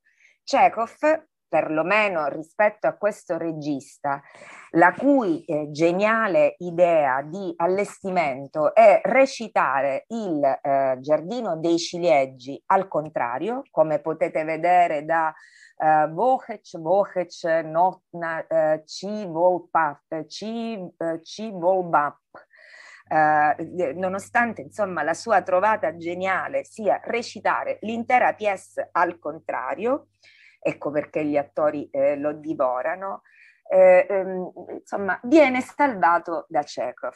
Quello che, quella che, eh, che vedete, eh, quello che vedete nella slide è il dialogo conclusivo che si svolge fra ehm, eh, Chekhov e Stanislavski, che sono due presenze ultraterrene, Stanislavski, ma ce lo rivelava già stamattina Fausto Malcovati, si mostra molto rigido rispetto alla, eh, a questa fantasiosa interpretazione, a quello che si vede in scena e rimprovera Chekhov di eh, risorgere questo regista già per la terza volta. E però Chekhov dice io sono l'autore, ho pieno diritto di farlo eh, e eh, tuttavia alla fine si mostra un po' perplesso, dice forse avrei dovuto scrivere in una maniera più chiara per essere più comprensibile ai eh, miei successori. Quello che pone, eh, eh, il problema che focalizza, che pone, quello su cui si concentra Bagayev è quindi il problema della ricezione, che eh, in qualche modo è centrale, anche se in termini diversi si parla della ricezione testuale non quella degli allestimenti, è il problema che pone eh, Bavilskich con eh, il suo Ctienie carte Nasciup, le carte lette al tatto, che sembrano rivolte un po' come eh, Chaika di Akunin a un lettore eh, un po' ignorante, è il, il, lettore che sta uscendo dal canone sovietico, che è nel mainstream post-sovietico, che fa un po' eh, confusione e che probabilmente va eh, attratto con un fantasioso prequel. Prequel nel quale scopriamo che ehm, eh, eh, quale sia il prequel nel quale scopriamo come Chekhov, scriva Il giardino dei ciliegi. In questo fantasioso eh, prequel, che in parte è persino verosimile, Chekhov è eh, un personaggio ormai in carne e ossa, si trova a Parigi eh, sul, eh, eh Pieron, sulla banchina della stazione del treno che sta prendendo e incontra l'amico Trigorin, che è un letterato come lui, che sta accompagnando Ranievskaya la quale sta tornando in Russia e eh, ehm, durante il viaggio gli ispirerà eh, la eh, composizione, il soggetto dei giardino dei ciliegi, del giardino dei ciliegi, che tanto lo tormentava perché poverino scriveva quattro eh, righe al giorno. Sappiamo che questo è parzialmente vero. Ora, volendo questo incontro potrebbe persino essere plausibile, Certo lo è di meno la virata, eh, eh, sicuramente surreale, il pastiche che vediamo dopo, a poco a poco, dove eh, eh, l'allegra compagnia, Ragnescaia torna a casa con Ania, Charlotte Ivanovna, insomma con tutto il codazzo che siamo abituati a eh, vedere sulle scene, dove a un certo punto insomma si innesta un dibattito eh, non tanto su Akujava e Wysotsky, che lo ricordo sono eh, eh, come dire di parecchio successivi a questi eventi, ma eh, Chekhov eh, eh, si ehm, profonde in dettagli anche e trovo assolutamente poco verosimile che Chekhov parlasse dei dettagli della sua vita erosentimentale di fronte a delle, ehm, a delle signore.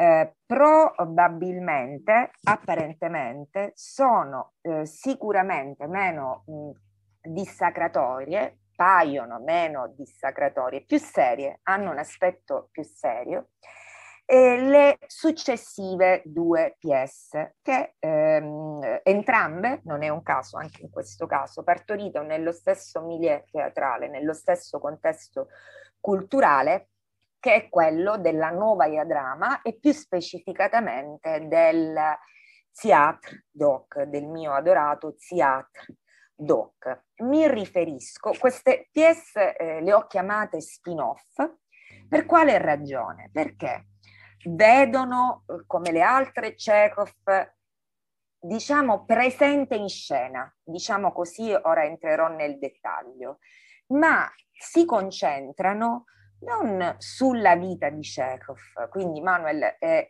Cinzia Delotto, io non posso rispondere del perché Chekhov sia andato a Sakhalin, di questo dibattito, del dibattito critico, però posso dire che cosa facevano a Sakhalin mentre lo aspettavano, perché si concentra su episodi, diciamo, paralleli eh, eh, della vita di Chekhov. In tutto questo eh, Chekhov è costantemente atteso in scena e in un caso, in uno dei due casi, non compare mai.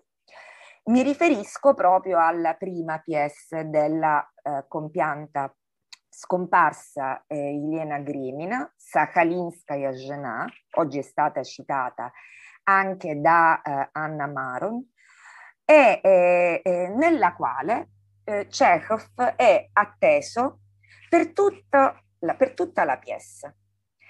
Uh, eh, di fatto la sua presenza in scena è irrilevante perché non incide in una delle eh, caratteristiche principali del teatro che è l'azione, non turba l'azione. E anzi, quando Chekhov finalmente arriva, ma noi non lo vediamo, cala il sipario. Quello che è più interessante è quello che succede a Sakhalin, dove, come ci viene detto nel titolo, ci viene suggerito dal titolo, eh, viene data, arriva eh, una moglie in due, cioè viene mandata una colonna eh, per, perché eh, sposi uno dei due detenuti che vediamo in scena. Quindi la storia prende una piega, se vogliamo, anche l'escaviana, fortunatamente non così tragica, con punte di ironia perché, eh, come vediamo nella citazione, l'arrivo di Chekhov, nell'arrivo, nell'attesa di Chekhov, tutti un po' eh, eh si agitano, eh, riecheggia quello eh, del celebre eh, revisore gogoliano из Москвы, из самой Москвы едет таинственная ревизия no? e, giù, e giù di lì. L'uso di moduli teatrali altri è abbastanza frequente, perlomeno al Theatre Doc. Dicevo, la presenza in scena di Chekhov è eh, eh, per certi aspetti poco significativa dal punto di vista dell'azione e tuttavia, anche in questa narrazione realistica tutto sommato, eh, eh, si possono riscontrare delle eh, tendenze che vedremo poi nell'iperrealismo, cioè l'azione, eh, queste sono le battute conclusive, si sdoppia, segue un piano eh, eh, astratto ed è, o se vogliamo in termini teatrali, extrascenico. Alla fine eh, ehm, tra coloro che aspettavano con ansia Chekhov c'erano gli intellettuali del posto, Uh, tra i quali Unter, che scopriamo lungo l'azione essere uno studente che aveva combinato qualcosa nella capitale, era stato cacciato, nella, eh, era stato cacciato dall'università ed era finito a Sakhalin. Scopriamo alla fine, eh, perché l'azione poi eh, insomma, ha una ricaduta extrascenica, scopriamo alla fine che Unter, grazie a Chekhov, quindi Chekhov continua a essere eh, provvidenziale, eh, eh, è tornato nella capitale. Tuttavia, sulla scena c'è pure un evento i cui limiti cronologici vanno oltre la narrazione, ossia una delle colonne, Marina, che è proprio un'indigena, è una di Sakhalin, infatti parla anche in una lingua un po' strana e spesso quando non le conviene fa finta di non capire il russo. Marina eh, fa una strana profezia che ai tempi non sarebbe potuta esistere, ovvero eh, eh viene detto sì, Chekhov è malato, ha fatto male a venire qui, eh, eh questo dottore è malato, vivrà 10 forse 15 anni. Quindi è un realismo che fa eh, un po' acqua da tutte le parti. E se vogliamo anche questa pièce eh, eh, allude un po' al problema della ricezione non solo dell'opera cecoviana, ma anche della figura eh, di questo grande, grandissimo autore. Più o meno le stesse dinamiche eh, si, eh, in, si, eh, eh, si, agiscono nel dramma di Vazim Yevanov, Slaviansky Bazar. Eh, il titolo eh, è tutto un programma, anche in questo caso ci si, fa, ci, ci si rifà, eh, Yevanov ehm, si rifà a un episodio marginale della vita di Chekhov che non è nemmeno un episodio della sua vita, ossia il celebre incontro allo Slaviansky Bazar nel quale Stanislavski e Nemirovich Danchek decisero l'istituzione del teatro d'arte. La pièce è molto divertente e in quest- anche in questo caso viene detto fin dall'inizio, Chekhov è atteso dai due eh, che si intrattengono in una libagione luculliana per tutta la durata dell'opera, ma alla fine eh, lui eh, comparirà, vedremo come. Eh, ehm, anche in questo caso c'è una sfasatura surreale cronologica Ossia, Chekhov è atteso e non fanno altro del dire non Gaspadin Chekhov, Gnipriziotti, il signor Chekhov, viene o no? Insomma, che facciamo? Ordiniamo pure per lui? Poi, grazie al fatto che ritarda, decidono di accollargli anche il conto da pagare, ormai salatissimo. E Chekhov è contemporaneamente ovunque, eh, è a Yalta, Tagarrok, Baden-Baden, in tutti i luoghi canonici della sua biografia più o meno reali o addirittura è già morto a Badeweller. Eh, eh, anche in questo caso eh, l'autore, il drammaturgo Livanov, non perde l'occasione di un, diverde- di un divertente per fare un divertente gioco di parole e per abbattere i confini temporali, perché a un certo punto anche Stanislavski chiede quando sono morto io. Dicevo, tuttavia, non mi soffermo sulla pièce, ma vi consiglio di, leggere, di leggerla perché fa molto, molto ridere e molto riflettere.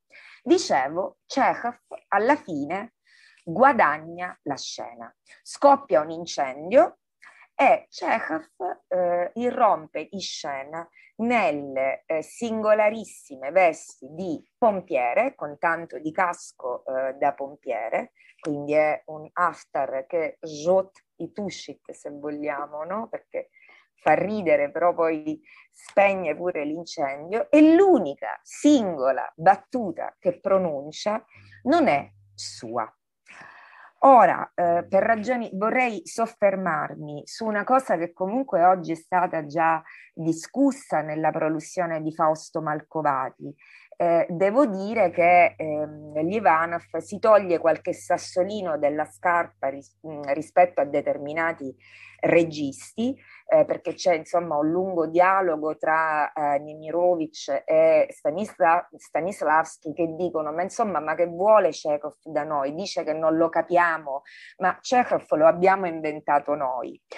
E eh, preferisco eh, eh, rivolgere la vostra attenzione su uh, un aspetto che mi sembra comune tanto in Lievanov quanto in Gremina, ossia le loro opere si rifanno a Chekhov in realtà per parlare del, pro, del teatro eh, a loro contemporaneo. Parliamo di testi recentissimi, insomma, del primo decennio dei, dei 2000 cosa che è particolarmente evidente nella pièce di eh, Lievanov, eh, eh, dove viene detto che fra 200-300 anni il teatro non esisterà più, esisterà una cosa che insomma somiglia molto allo smartphone, all'iPhone o comunque a uh, una televisione molto trash e ciascuno sarà il proprio Chekhov, cioè каждый будет Chekhov, no? cioè con eh,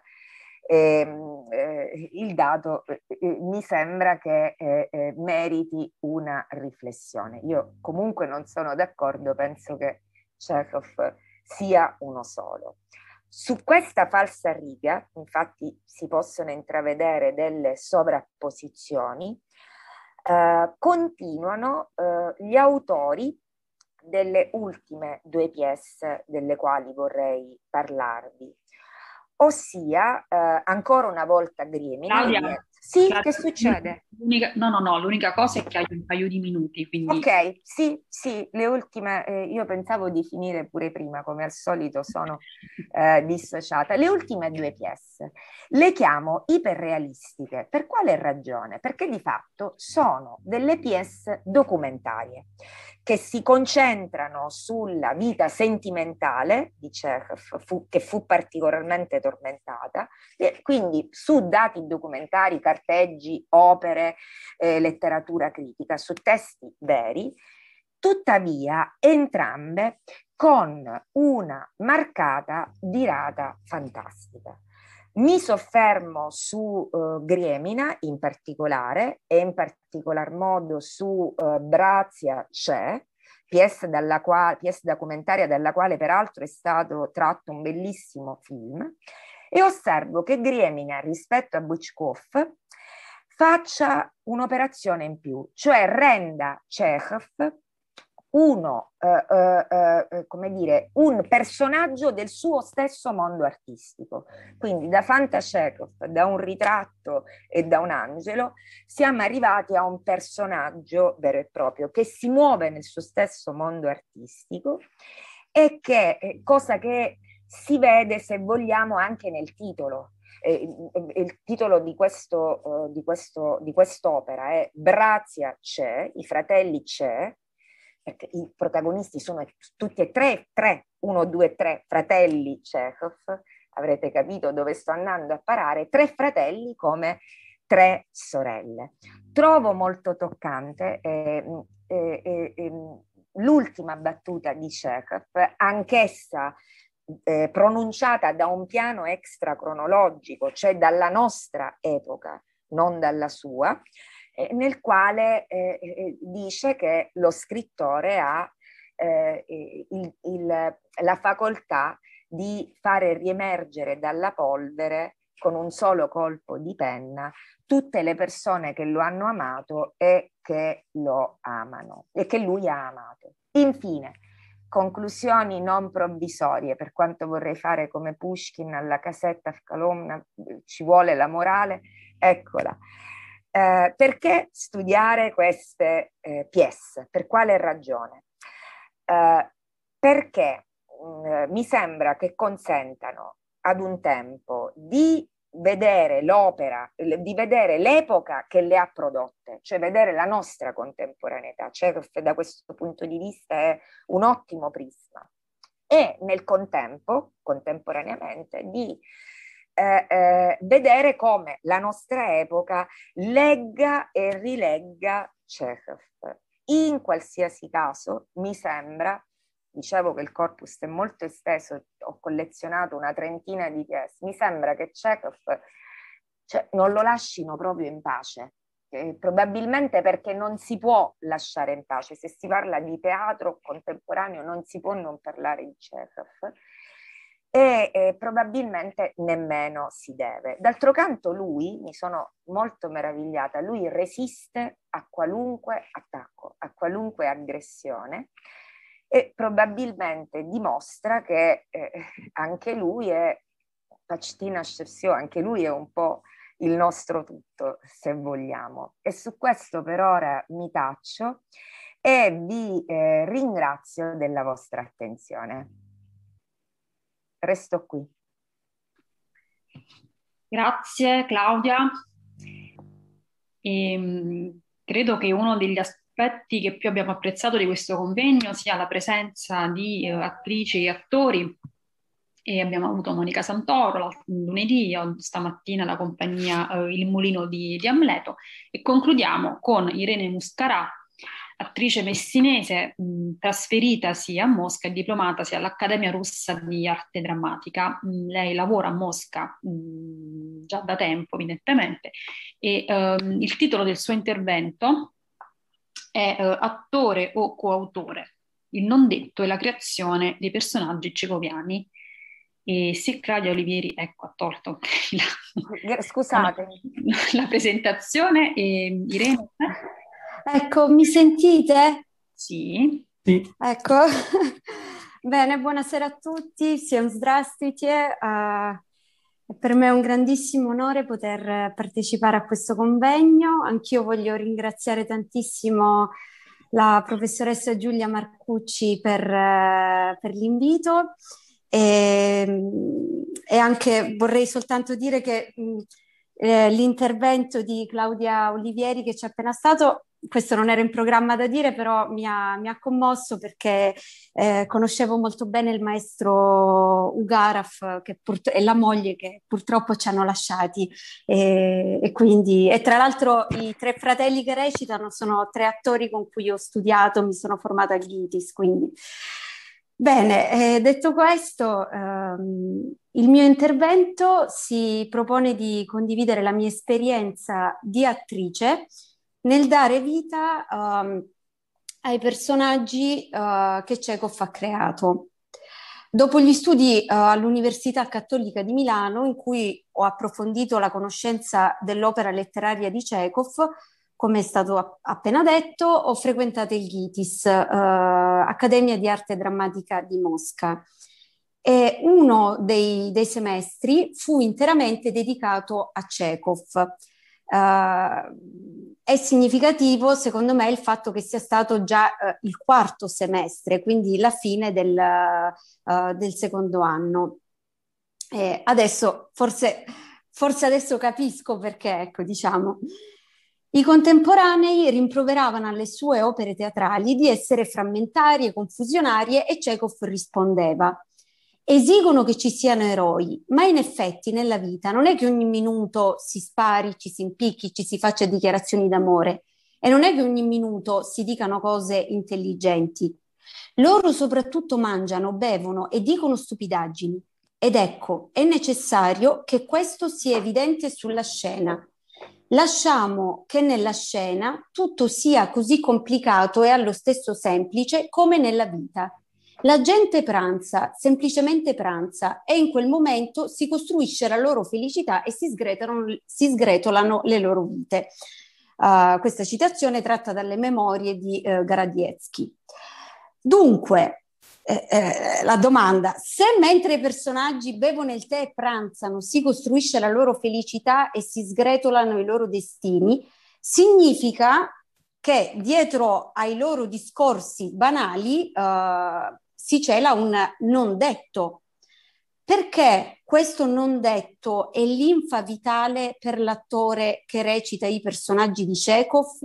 Come farlo emergere? E soprattutto, domanda importantissima, che tipo di lavoro deve fare l'attore per eh, recitare Chekhov? Uh, io ho recitato mh, in tanti spettacoli Chekhov, eh, farò soltanto alcuni esempi, parlerò, io ho creato uno spettacolo dopo, uh, dopo aver finito il Gitis, uh, uno spettacolo che si intitola Le cinque sorelle, Uh, avrei voluto recitare questo spettacolo, però sarà per la prossima volta, spero ci saranno altre occasioni. Ecco. E in questo spettacolo io interpreto cinque personaggi femminili uh, tratti, appunto, tratti, appunto, dalle opere di Anton Pavlich. I personaggi che io ho scelto sono Charlotte Ivanovna, Nina Zariechnaya, uh, Lyubov Andrievna Ranierskaya, Sonia e Olga desideravo che il pubblico non semplicemente ascoltasse cinque monologhi, no, seppur bellissimi, scritti benissimo, ma cogliesse un pezzo della vita di quei personaggi, come se nel corso di un'ora il pubblico entrasse in cinque case diverse. Desideravo inoltre eh, appunto che il pubblico potesse distinguere i miei personaggi attraverso dei minimi eh, particolari, ovvero senza tanti cambi di abito, di, sceno- di scenografia. Come il non detto è stato per me fondamentale nella realizzazione del mio intento, perché è proprio grazie a ciò che si nasconde dietro al non detto che i miei personaggi hanno preso vita. Ecco, eh, farò alcuni esempi.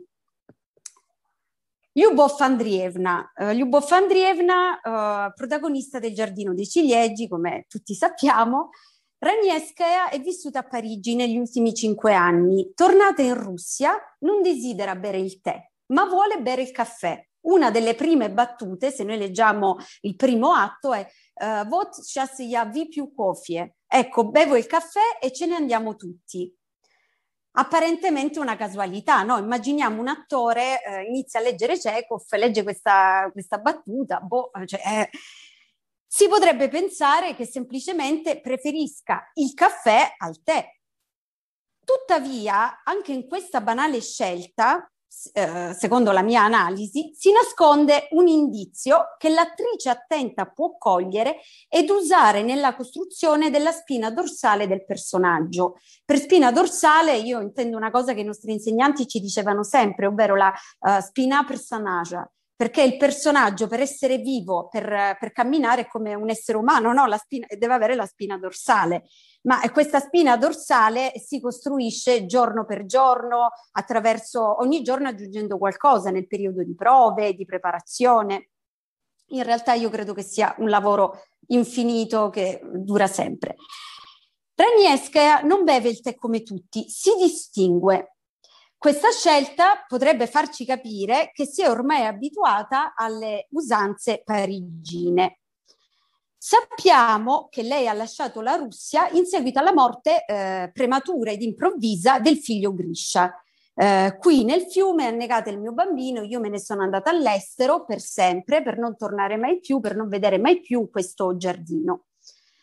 A Parigi Ranievskaya ha iniziato una, nu- una nuova vita, o almeno ha tentato di farlo. La semplice e banale abitudine di bere il caffè anziché il tè potrebbe esserne una testimonianza. Chekhov non costringe l'attore ad accentuare questi particolari. Se un'attrice non cogliesse questo aspetto e ne cogliesse per esempio un altro, la pièce si svilupperebbe e andrebbe avanti, e andrebbe, avrebbe un senso comunque. E ancora, sempre eh, il caffè. Nel primo atto Raniesca dice mi sono abituata al caffè, lo bevo di giorno e di notte. Che non detto potrebbe nascondersi dietro a questa battuta?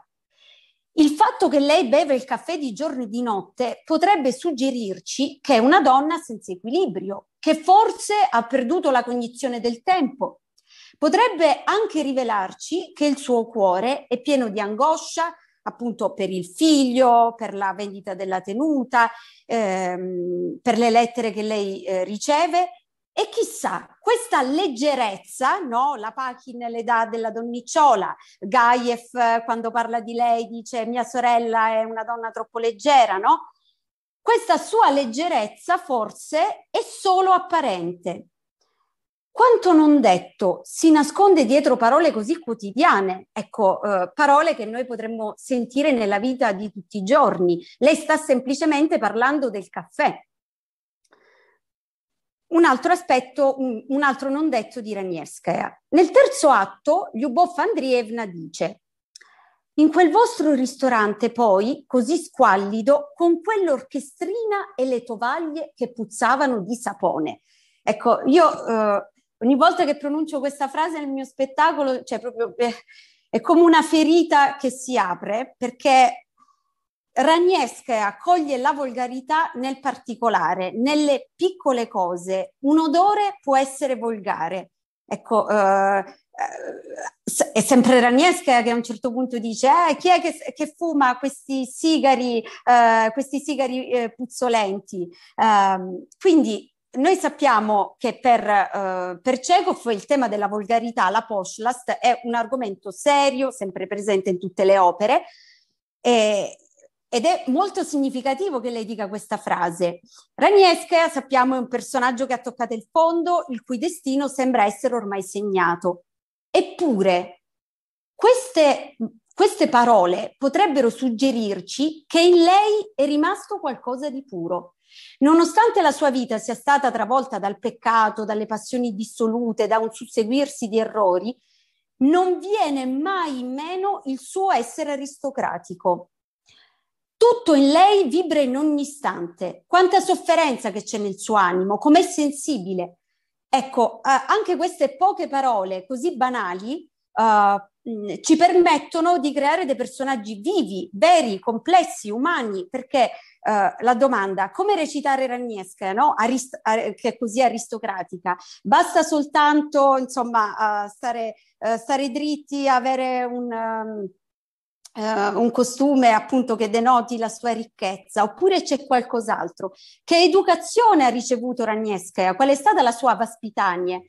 Ecco, eh, durante questo semestre di io uno dei personaggi che recitai era proprio uh, Ragnesca e il regista mi costrinse a leggere um, uh, un libro in cui, inso- costrinse tra virgolette ovviamente, uh, in cui si spiegava come venivano educate uh, le bambine aristocratiche al tempo di Raniesca, perché questa educazione è presentissima ed è incredibile come noi la cogliamo attraverso dei piccoli particolari quando io recito non penso a tutto questo, però questa cosa c'è in me, questa cosa eh, rimane e quindi non semplicemente uno dirà c'erano le tovaglie che puzzavano di, di sapone, ma eh, questo ti entra dentro, tu ricordi queste cose e il pubblico senza accorgersene, forse non tutti, però eh, qualcosa resta. Altro es- vorrei fare un altro esempio tratto dalle tre sorelle. Uh, Olga, quindi la sorella maggiore delle, delle tre sorelle, eh, all'inizio del primo atto Olga, professoressa del ginnasio femminile, uh, corregge i compiti delle scolare e indossa un uniforme blu. Ad una prima lettura, uh, Olga sembra una donna austera, lontana dalle passioni e dalla spensieratezza percepibili subito nelle sorelle minori. Infatti viene spesso rappresentata negli spettacoli come una, come una donna inasprita dalle circostanze sfavorevoli della vita. Una donna, insomma, per intenderci un po' la, la zitella, ecco. Non credo che sia un caso che le attrici sognino per lo più di recitare Masha o Irina. Rimasi molto colpita quando durante il semestre di Chekhov eh, una nostra insegnante ci disse Cercate il peccato di Olga. Per peccato cosa si intende? Il, uh, il suo dramma nascosto, la crepa del suo animo, l'imperfezione. Ovvero, è davvero tutto così semplice e lineare? Ovviamente anche questa volta Chekhov non ci ha offerto un personaggio piatto e monodimensionale. Anche Olga è una sognatrice e il suo animo è ricco di passioni. Olga sem- sogna sempre di andare a Mosca. Infatti, nel primo atto è felice come una bambina quando all'arrivo di Vercinin chiede: Lei è di Mosca? Quindi c'è Andrei che dice: Ah, le mie sorelle adesso non le daranno pace ma semplicemente lei non, non, gli dà pace oppure ah, lei è di Mosca per un attimo è come se respirasse. Una domanda quasi sussurrata, ma che cela un desiderio e un sogno quasi presenti. All'inizio del terzo atto, Kuligin, marito di Masha, le dice quante volte penso, se non c'era Masha avrei sposato te, Oliechka. Вот если не Маша, я бы на тебе женился, Олечка. Chissà, forse Kuligin vede in Olga delle qualità che non vede più nella moglie Masha.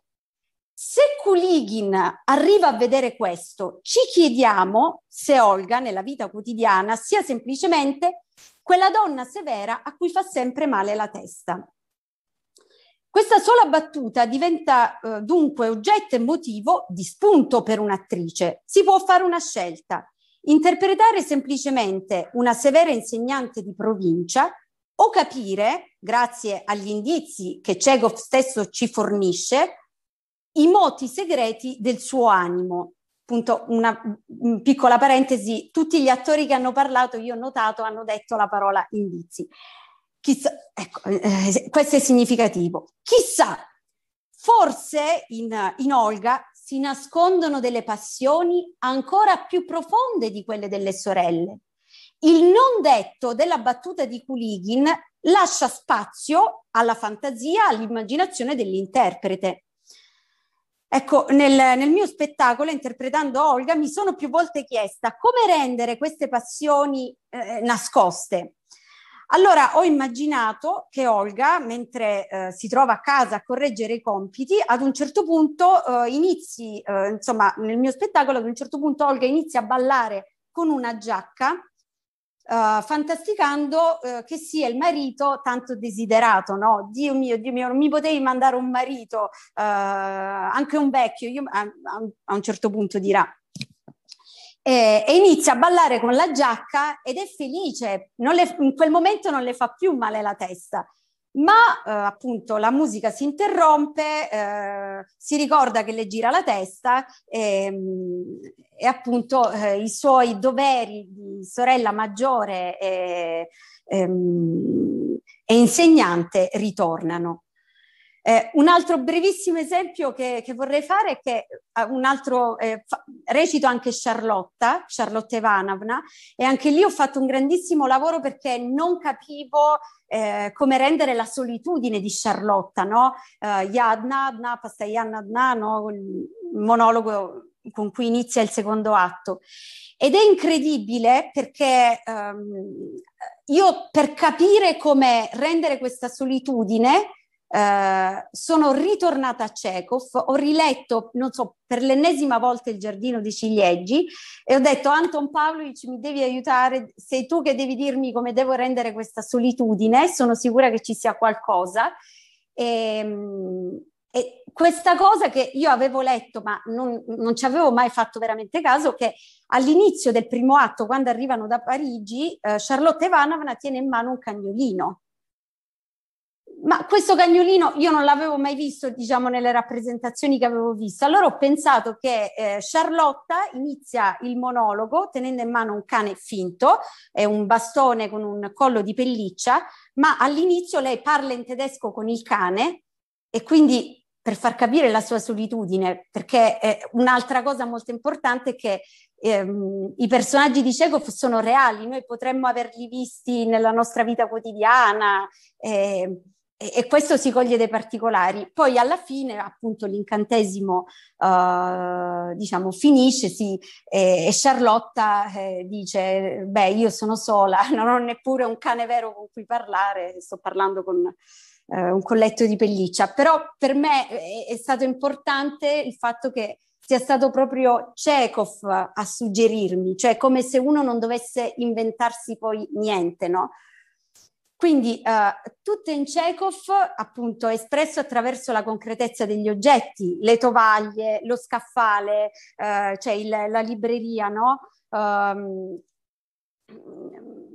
la concretezza appunto degli oggetti, dei particolari, dei movimenti.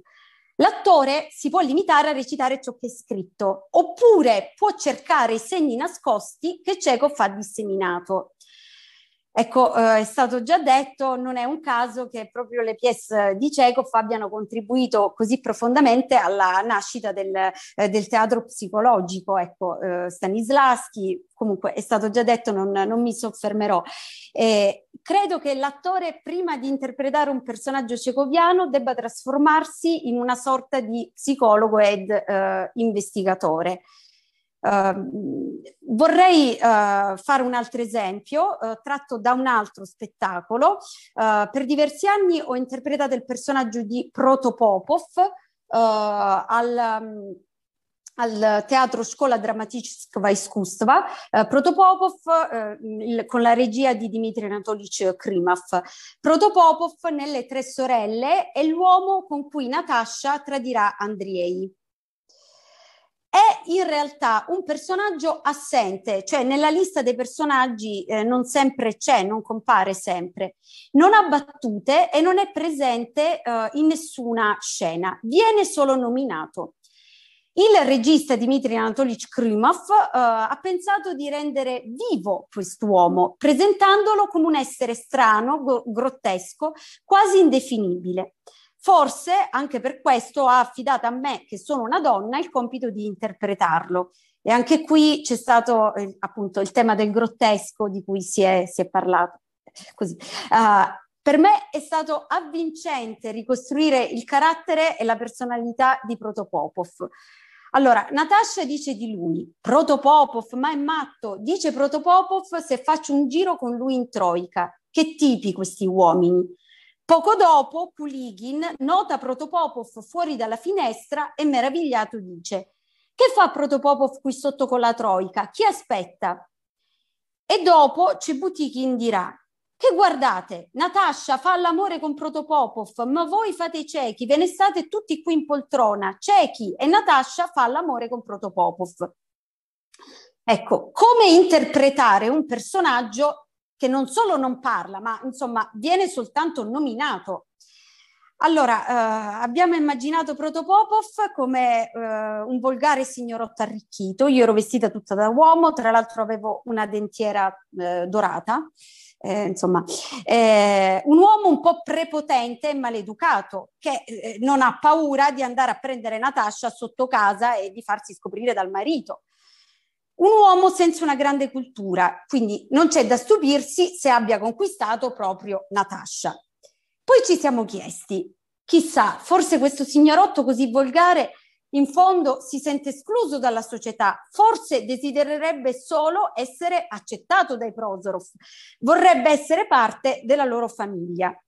Quindi eh, nostro, in questo spettacolo la, eh, la famiglia è riunita, disposta in cerchio, Protopopov si avvicina, eh, eh, si limita, saluta, ma non riesce a farsi accogliere, come se non riuscisse mai ad entrare in questo cerchio. Per me è stata un'esperienza molto significativa riuscire a costruire un personaggio di cui sappiamo apparentemente così poco. Questa esperienza ha in me rafforzato l'idea che l'attore eh, non può rappresentare personaggi di Chekhov uh, che sono appunto così umani da essere infiniti, uh, limitandosi a recitare ciò che è scritto, ma deve provare a capire cosa si nasconde dietro i particolari della vita quotidiana, dietro le battute così apparentemente banali e sussurrate. Nelle mie interpretazioni accentuo alcuni aspetti, ma avrei potuto evidenziarne altri. Chekhov mi ha permesso di fare una scelta e di diventare coautrice dei personaggi delle sue pièce.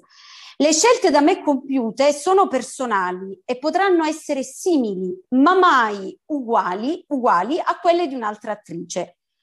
Per questo motivo gli attori di tutto il mondo non si stancheranno mai di recitare le opere teatrali di Chekhov. Chekhov, infatti, dà all'attore non solo eh, la possibilità di interpretare un ruolo, no? Ma è come se gli dicesse con l'ironia che lo contraddistingue. Ecco, siediti accanto a me, crea con me questo destino unico e irripetibile. Uh, vi ringrazio. Eh, un'ultima cosa che mi piacerebbe dire, un, un brevissimo aneddoto. Um, che io ho avuto modo di conoscere l'attore americano Mark Raffalo e, e noi abbiamo passato un pranzo a parlare di Chekhov e c'era lui che mi diceva come secondo lui si dovrebbe manifestare l'amore di Sonia per Astrof, cioè partendo anche lì da un particolare. Ehm, e quindi anche questo è significativo che i grandissimi attori comunque eh, è, è, solo per fare un, un esempio, no? Uh, amano, amano Chekhov. Non so, sono stata con i tempi o... o non... Sì, perfetto. ok, grazie. Grazie Irene. E apriamo la discussione allora di questa mh, sessione che è stata dedicata, abbiamo visto, alle messe in scena e alle riscritture mh, anche piuttosto recenti del testo cecoviano, in cui mi pare che si possano notare mh, tenendo presente ovviamente anche la sessione mattutina, anche il, uh, il film ieri di Vinicio Marchioni, ci sono due tendenze, una è l'attualizzazione del testo mh, cecoviano e l'altra è la, la metateatralità, anche un po' pirandelliana, no? fino a Chekhov che diventa personaggio stesso poi alla fine. Quindi, mi, dunque, Cinzia Delotto è la prima manina alzata. Prego.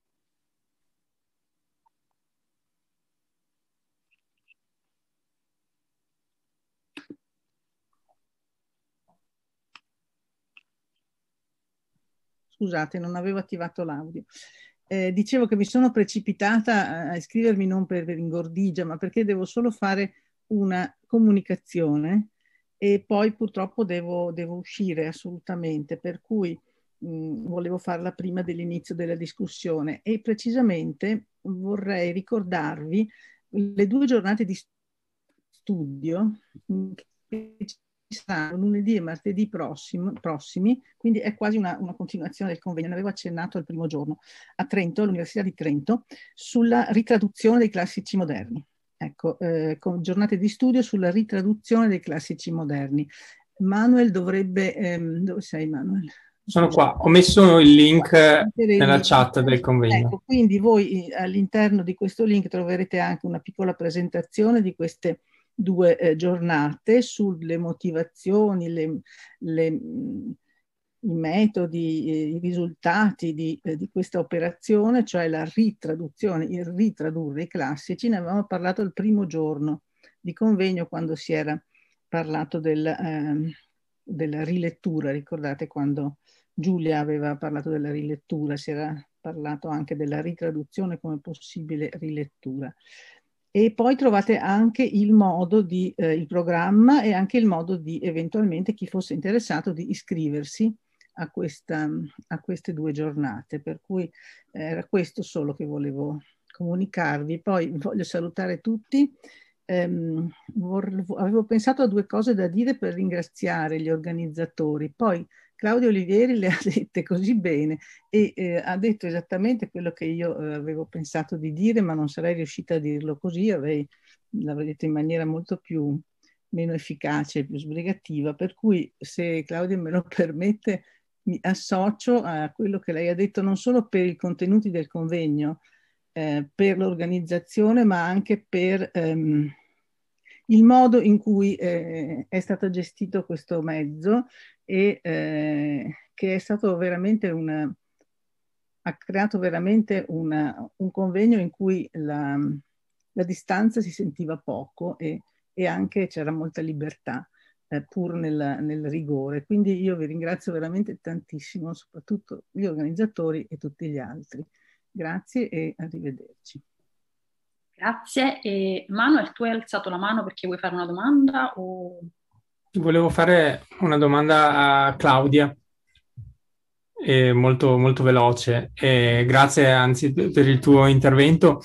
E, mi ha colpito molto il modo in cui ti sei ricollegata anche all'intervento del, del professor Malcovati, eh, perché insomma questa questa figura di Stanislavski che, che, stamattina è stata presentata come una iattura, in un certo senso però eh, nel teatro contemporaneo ha anche una funzione positiva quasi per Chekhov. Possiamo dire di capro espiatorio?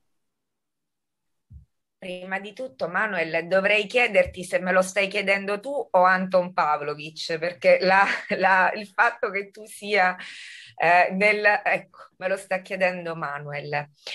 Senti, io mm, avrei molto da dire, ma non lo dirò, non vi preoccupate. Penso, esco da questi giorni, esco da questa rilettura eh, che ho fatto per preparare questo intervento, convinta che davvero Ukashdov, cioè ognuno ha diritto al suo Chekhov. Uh, quindi ha diritto lo studioso, ha diritto il comparatista, ha diritto l'attore, ha diritto anche il regista uh, con uh, riduzioni sceniche eh, del tutto, eh, eh, alcune le ho viste io, anche io, eh, fantasiose, eh, decisamente discutibili.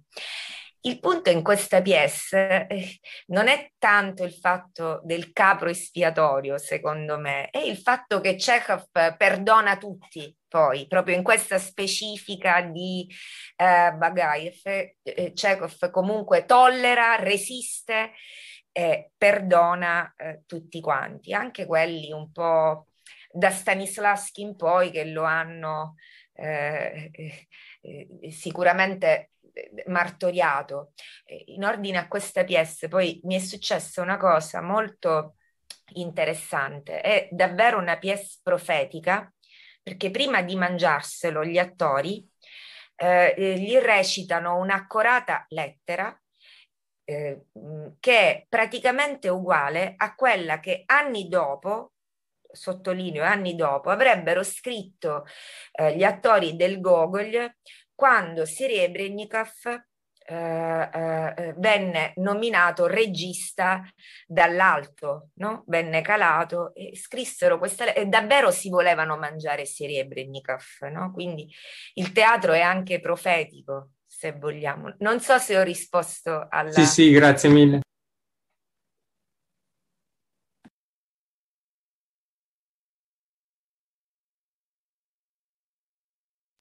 Geppina riattiva l'audio.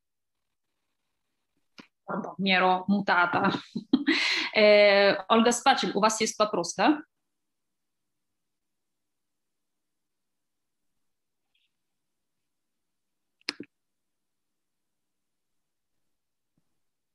Ольга, пожалуйста. А, здравствуйте. И у меня вопрос к Валентине Буркунюк из Харькова. Вот какого характера. Скажите, пожалуйста, насколько вишневый сад вот сегодня а, вообще вот это словосочетание воспринимается в Харькове как реалия украинской культуры. Вы это упомянули в вашем докладе. Но насколько вот, например, молодежь вообще вот в быту, насколько это воспринимается как именно культурная реалия? Спасибо за вопрос. Э, я действительно упомянула, что у нас есть прецедентный автор в украинской литературе, и таким автором является Шевченко.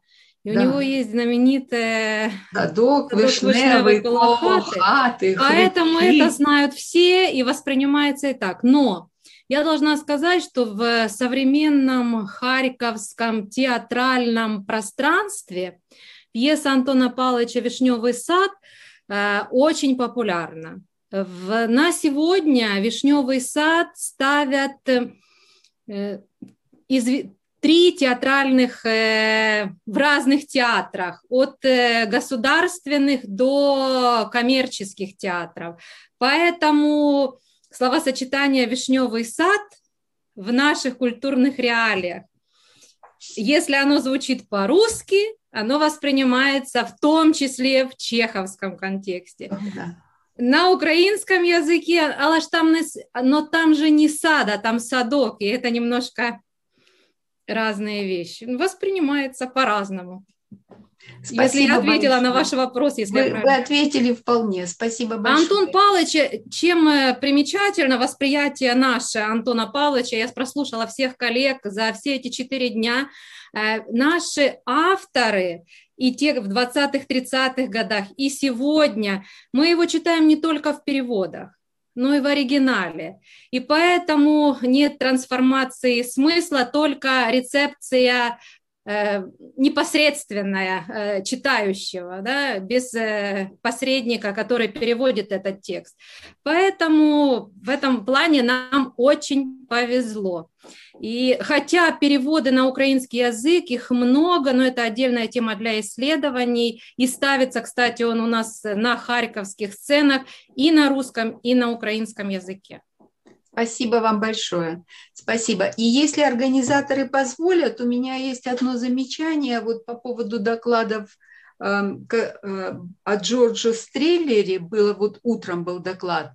И, к сожалению, я не очень внимательно слушала, потому что у меня тут параллельно были еще другие э, вещи.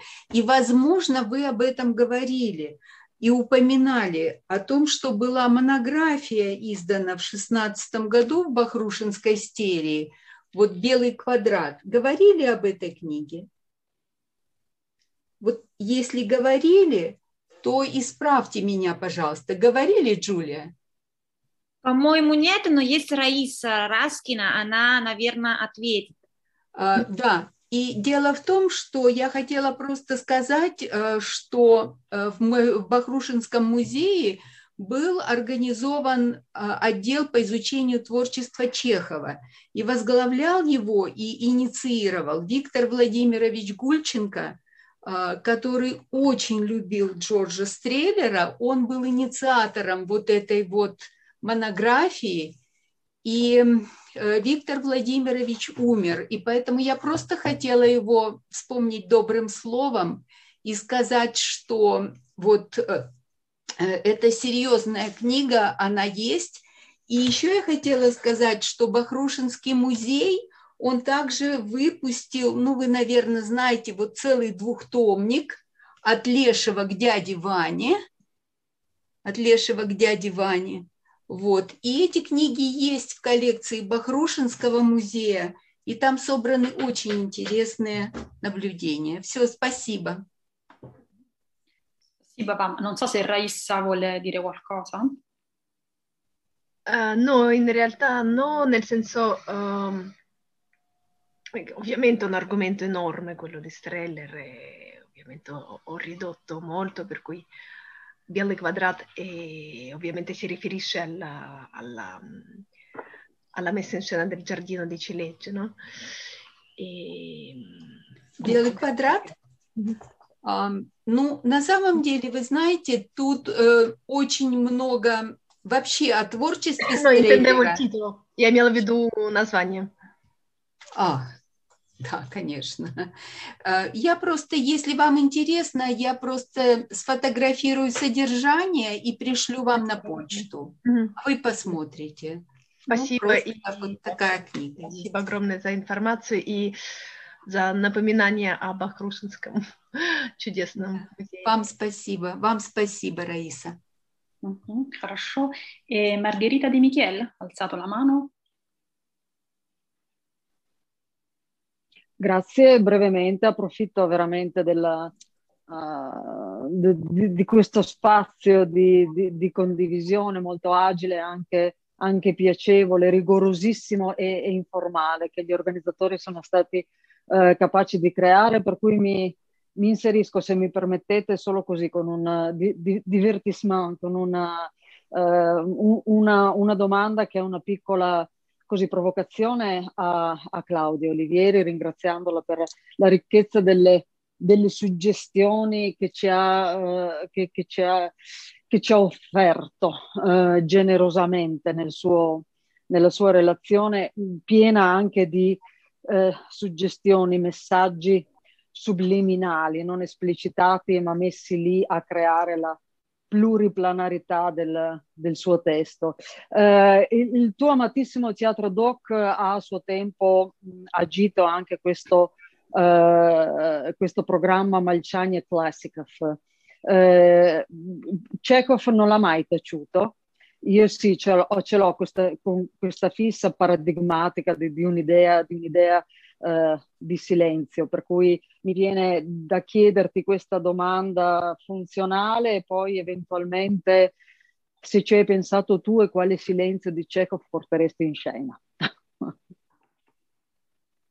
Eh, Margherita, grazie, grazie anche per eh, le belle parole. Eh, conosco eh, la pièce e l'attore eh, Yudnikov che sta lì in silenzio. Mm-hmm. Magari tacciamo eh, agli altri che c'è un, un'opera eh, che in Russia viene allestita nel totale silenzio, si chiama proprio così, mm-hmm. silenzio su un tema prestabilito e paghi anche il biglietto per andarla a vedere. La, no? la, la trovo meravigliosa, la trovo, riposante. La trovo la, sfida suprema. Supre- riposante e anche un po' imbarazzante perché si vuole stare in silenzio in una maniera più Ma degna. Tu che direzione stai tacendo? Eh, esatto. Mi sposto esatto. che si sente male, scusate eh, eh, dicevo, conosco questa pièce, però io personalmente eh, non l'ho mai vista. Se capisco bene, e, no, e non, mh, mm, se capisco bene, eh, tu mi chiedi quale opera teatrale porterei in scena in silenzio? Se, se, se Chekhov, eh, se ti chiedevo che perché questa era proprio un'informazione, se sapevi se Chekhov rientrava in questo programma, ma eh, sì, da, dai dati che ho io non lo so, non, non, non, lo conosco. E come provocazione sì, in questa interpretazione eh, ormai così decostruita completamente di, di Chekhov, secondo te quale, eh, quale eh, Chekhov sarebbe più significativo da condividere in, in silenzio. silenzio. esibito. Ok, ehm, allora no per la, la, più, prima... la, più, la, più, surreale delle domande. Eh, eh, specialmente per noi due, Margherita, direi, è una ipotesi proprio in, assolutamente improbabile, ma la prima domanda è no, perché so che sono uh-huh. un ciclo di silenzi, ma non mi sono infatti, mai interessata. Infatti, infatti. Eh, uh-huh. non, non, non posso risponderti, non lo so. Um, seconda domanda, ci ho pensato una frazione di secondo e scelgo Irene Muscarà capovolgendola. Metterei in silenzio ben tre donne, perché questo sarebbe epico, cioè mettere a tacere tre sorelle. Bellissimo Bellissimo. Eh, che nel caso di Irene sono anche cinque, però io non sono un regista e quindi è solo una, ris- una domanda, eh, una risposta provocatoria così come... Ti, ti, ti, ringrazio dell'intelligenza della risposta a una domanda assolutamente sciocca ma, de- ma, ma, ma responsabile. Grazie ancora. И Ольга Спачель, опять подняли руку, хотите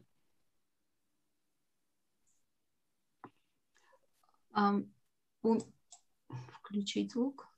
Да, да. меня слышно? Да, да, Я да. просто хотела э, разместить ссылку, если можно, на книги Бахрушинской серии, потому что книга называется «Белый квадрат. Чеховские спектакли Джорджа Стреллера», и все эти книги выложены в интернет. И мне сейчас позвонила Алла Георгиевна Головачева, это известный чеховед, и сотрудник этого отдела. И вот как раз Алла Георгиевна пообещала ссылку. Я хотела спросить, а как можно выложить эту ссылку, ну, может быть, в чат, если это возможно? Giulia, è attivata la chat anche? Да, да, для всех. Поэтому, пожалуйста. Ну, тогда вы можете... Ну, хорошо. Да, я да. тогда напишу. Спасибо. Спасибо вам. E ci sono altre domande? Вопросы? Non vedo mani alzate, quindi non so se gli organizzatori vogliono riprendere la parola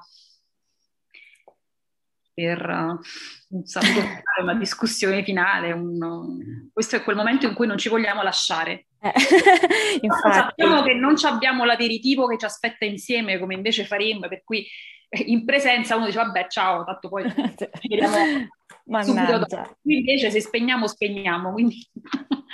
allora, no, grazie. Se non ci sono più domande prendo velocemente la parola io e poi magari la lascio anche ai miei colleghi del comitato organizzatore.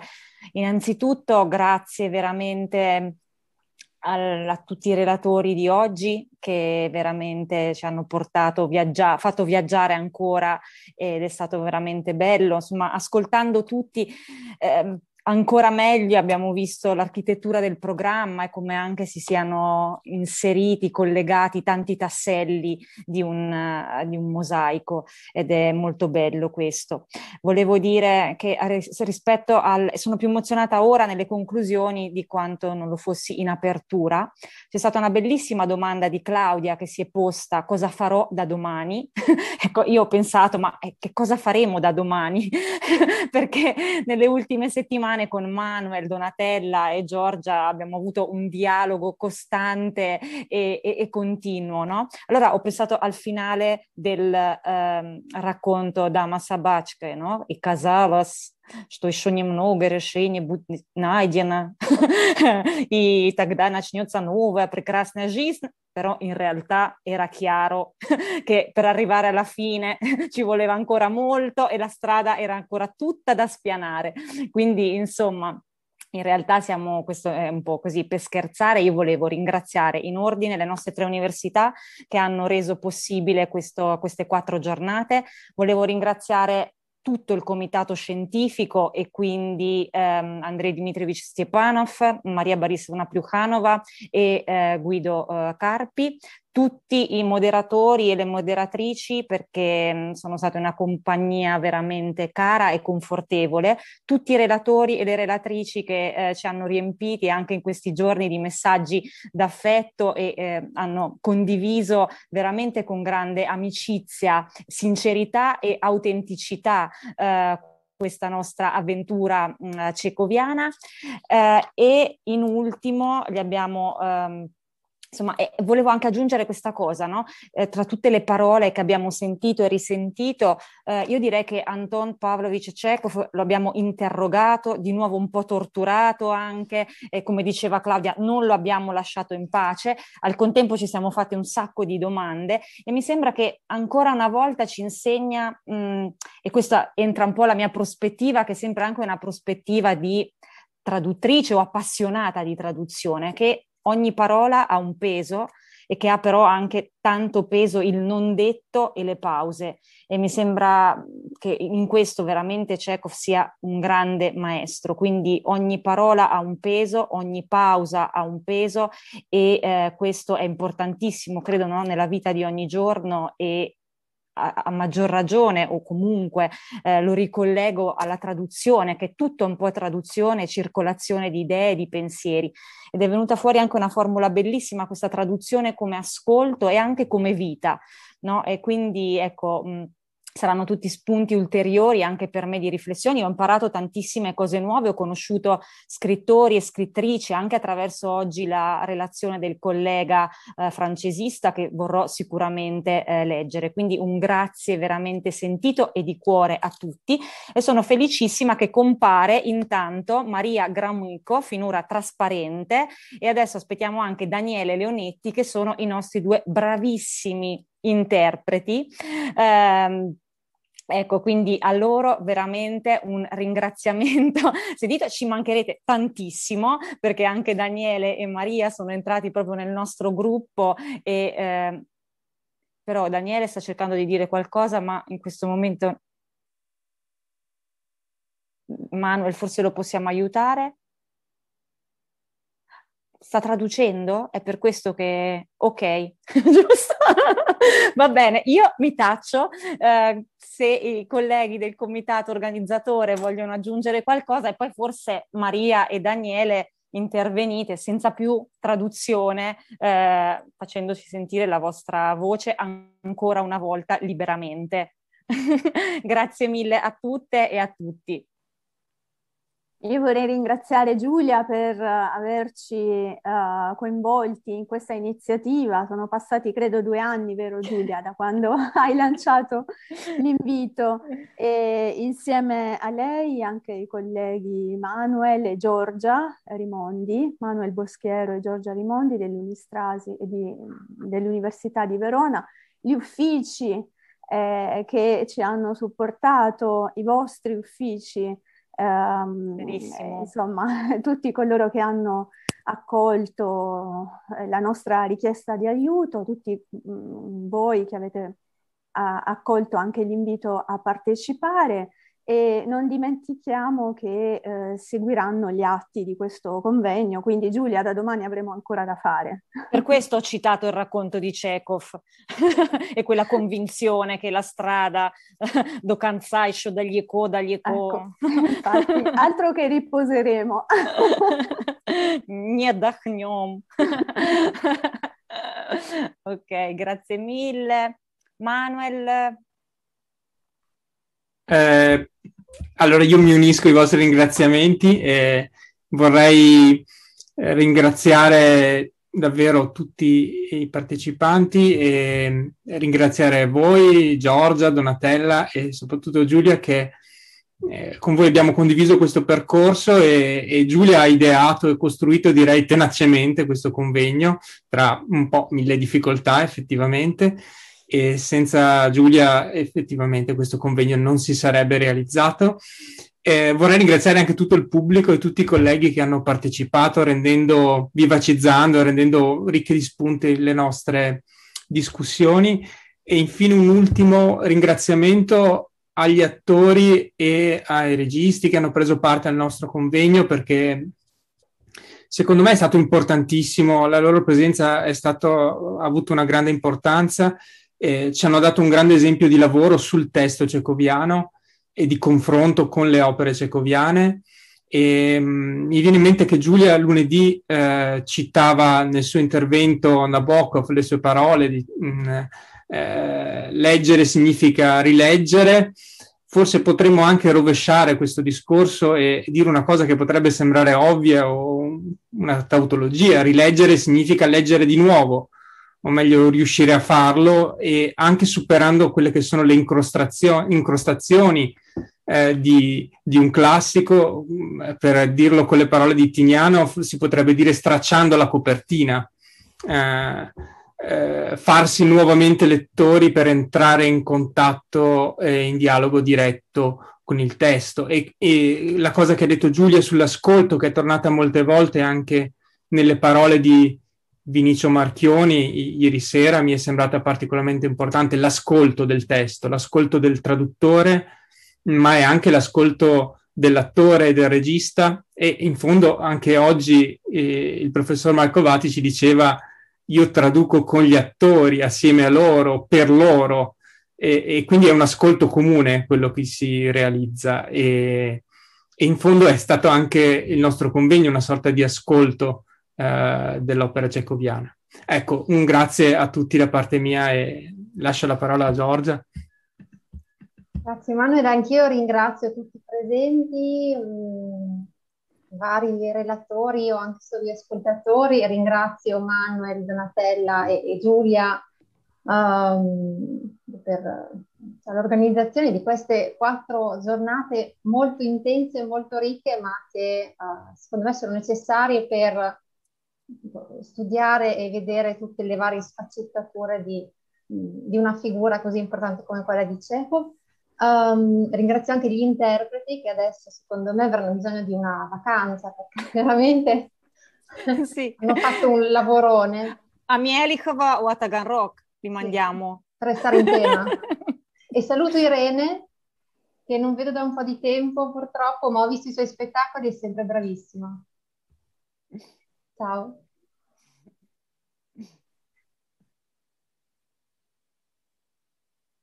Maria, Daniele? Mm-mm. Non gli è possibile intervenire? Sono sul canale. Attraverso l'altro canale? Provate con l'altro account. Ecco, io di qua sono da Daniele 2, un attimo devo levare le cuffie. È, è un po' schizofrenico. Eh, di, di, direi che magari possiamo stoppare la, la, traduzione un momento e per il finale, forse? Sì.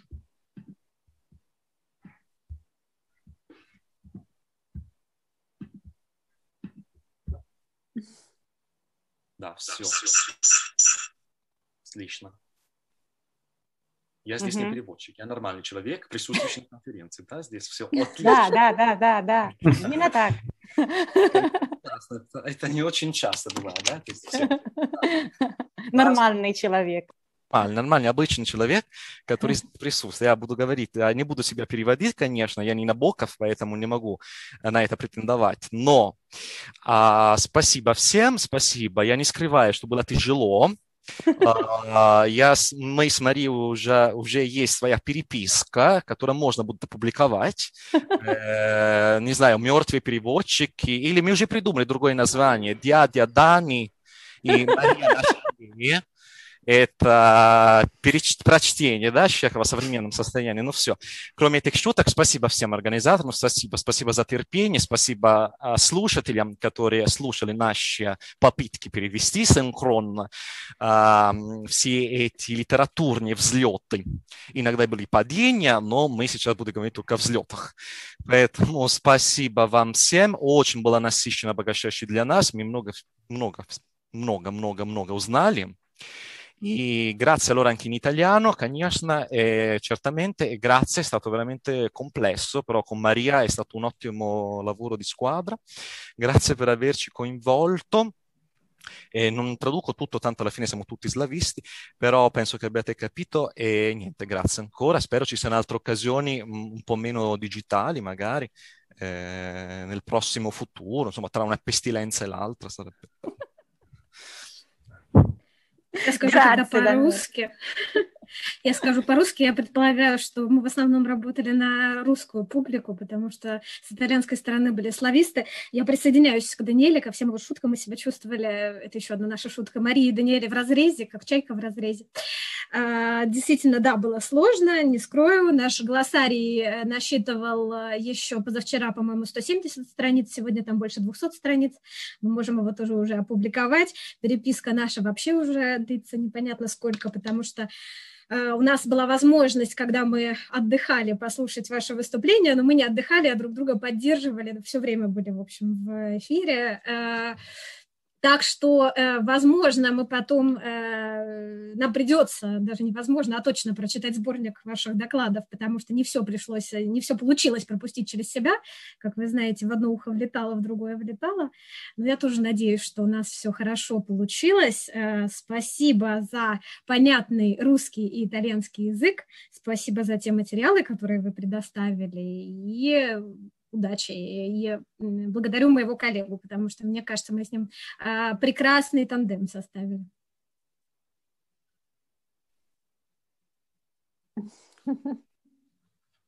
Bravi, bravi, bravi.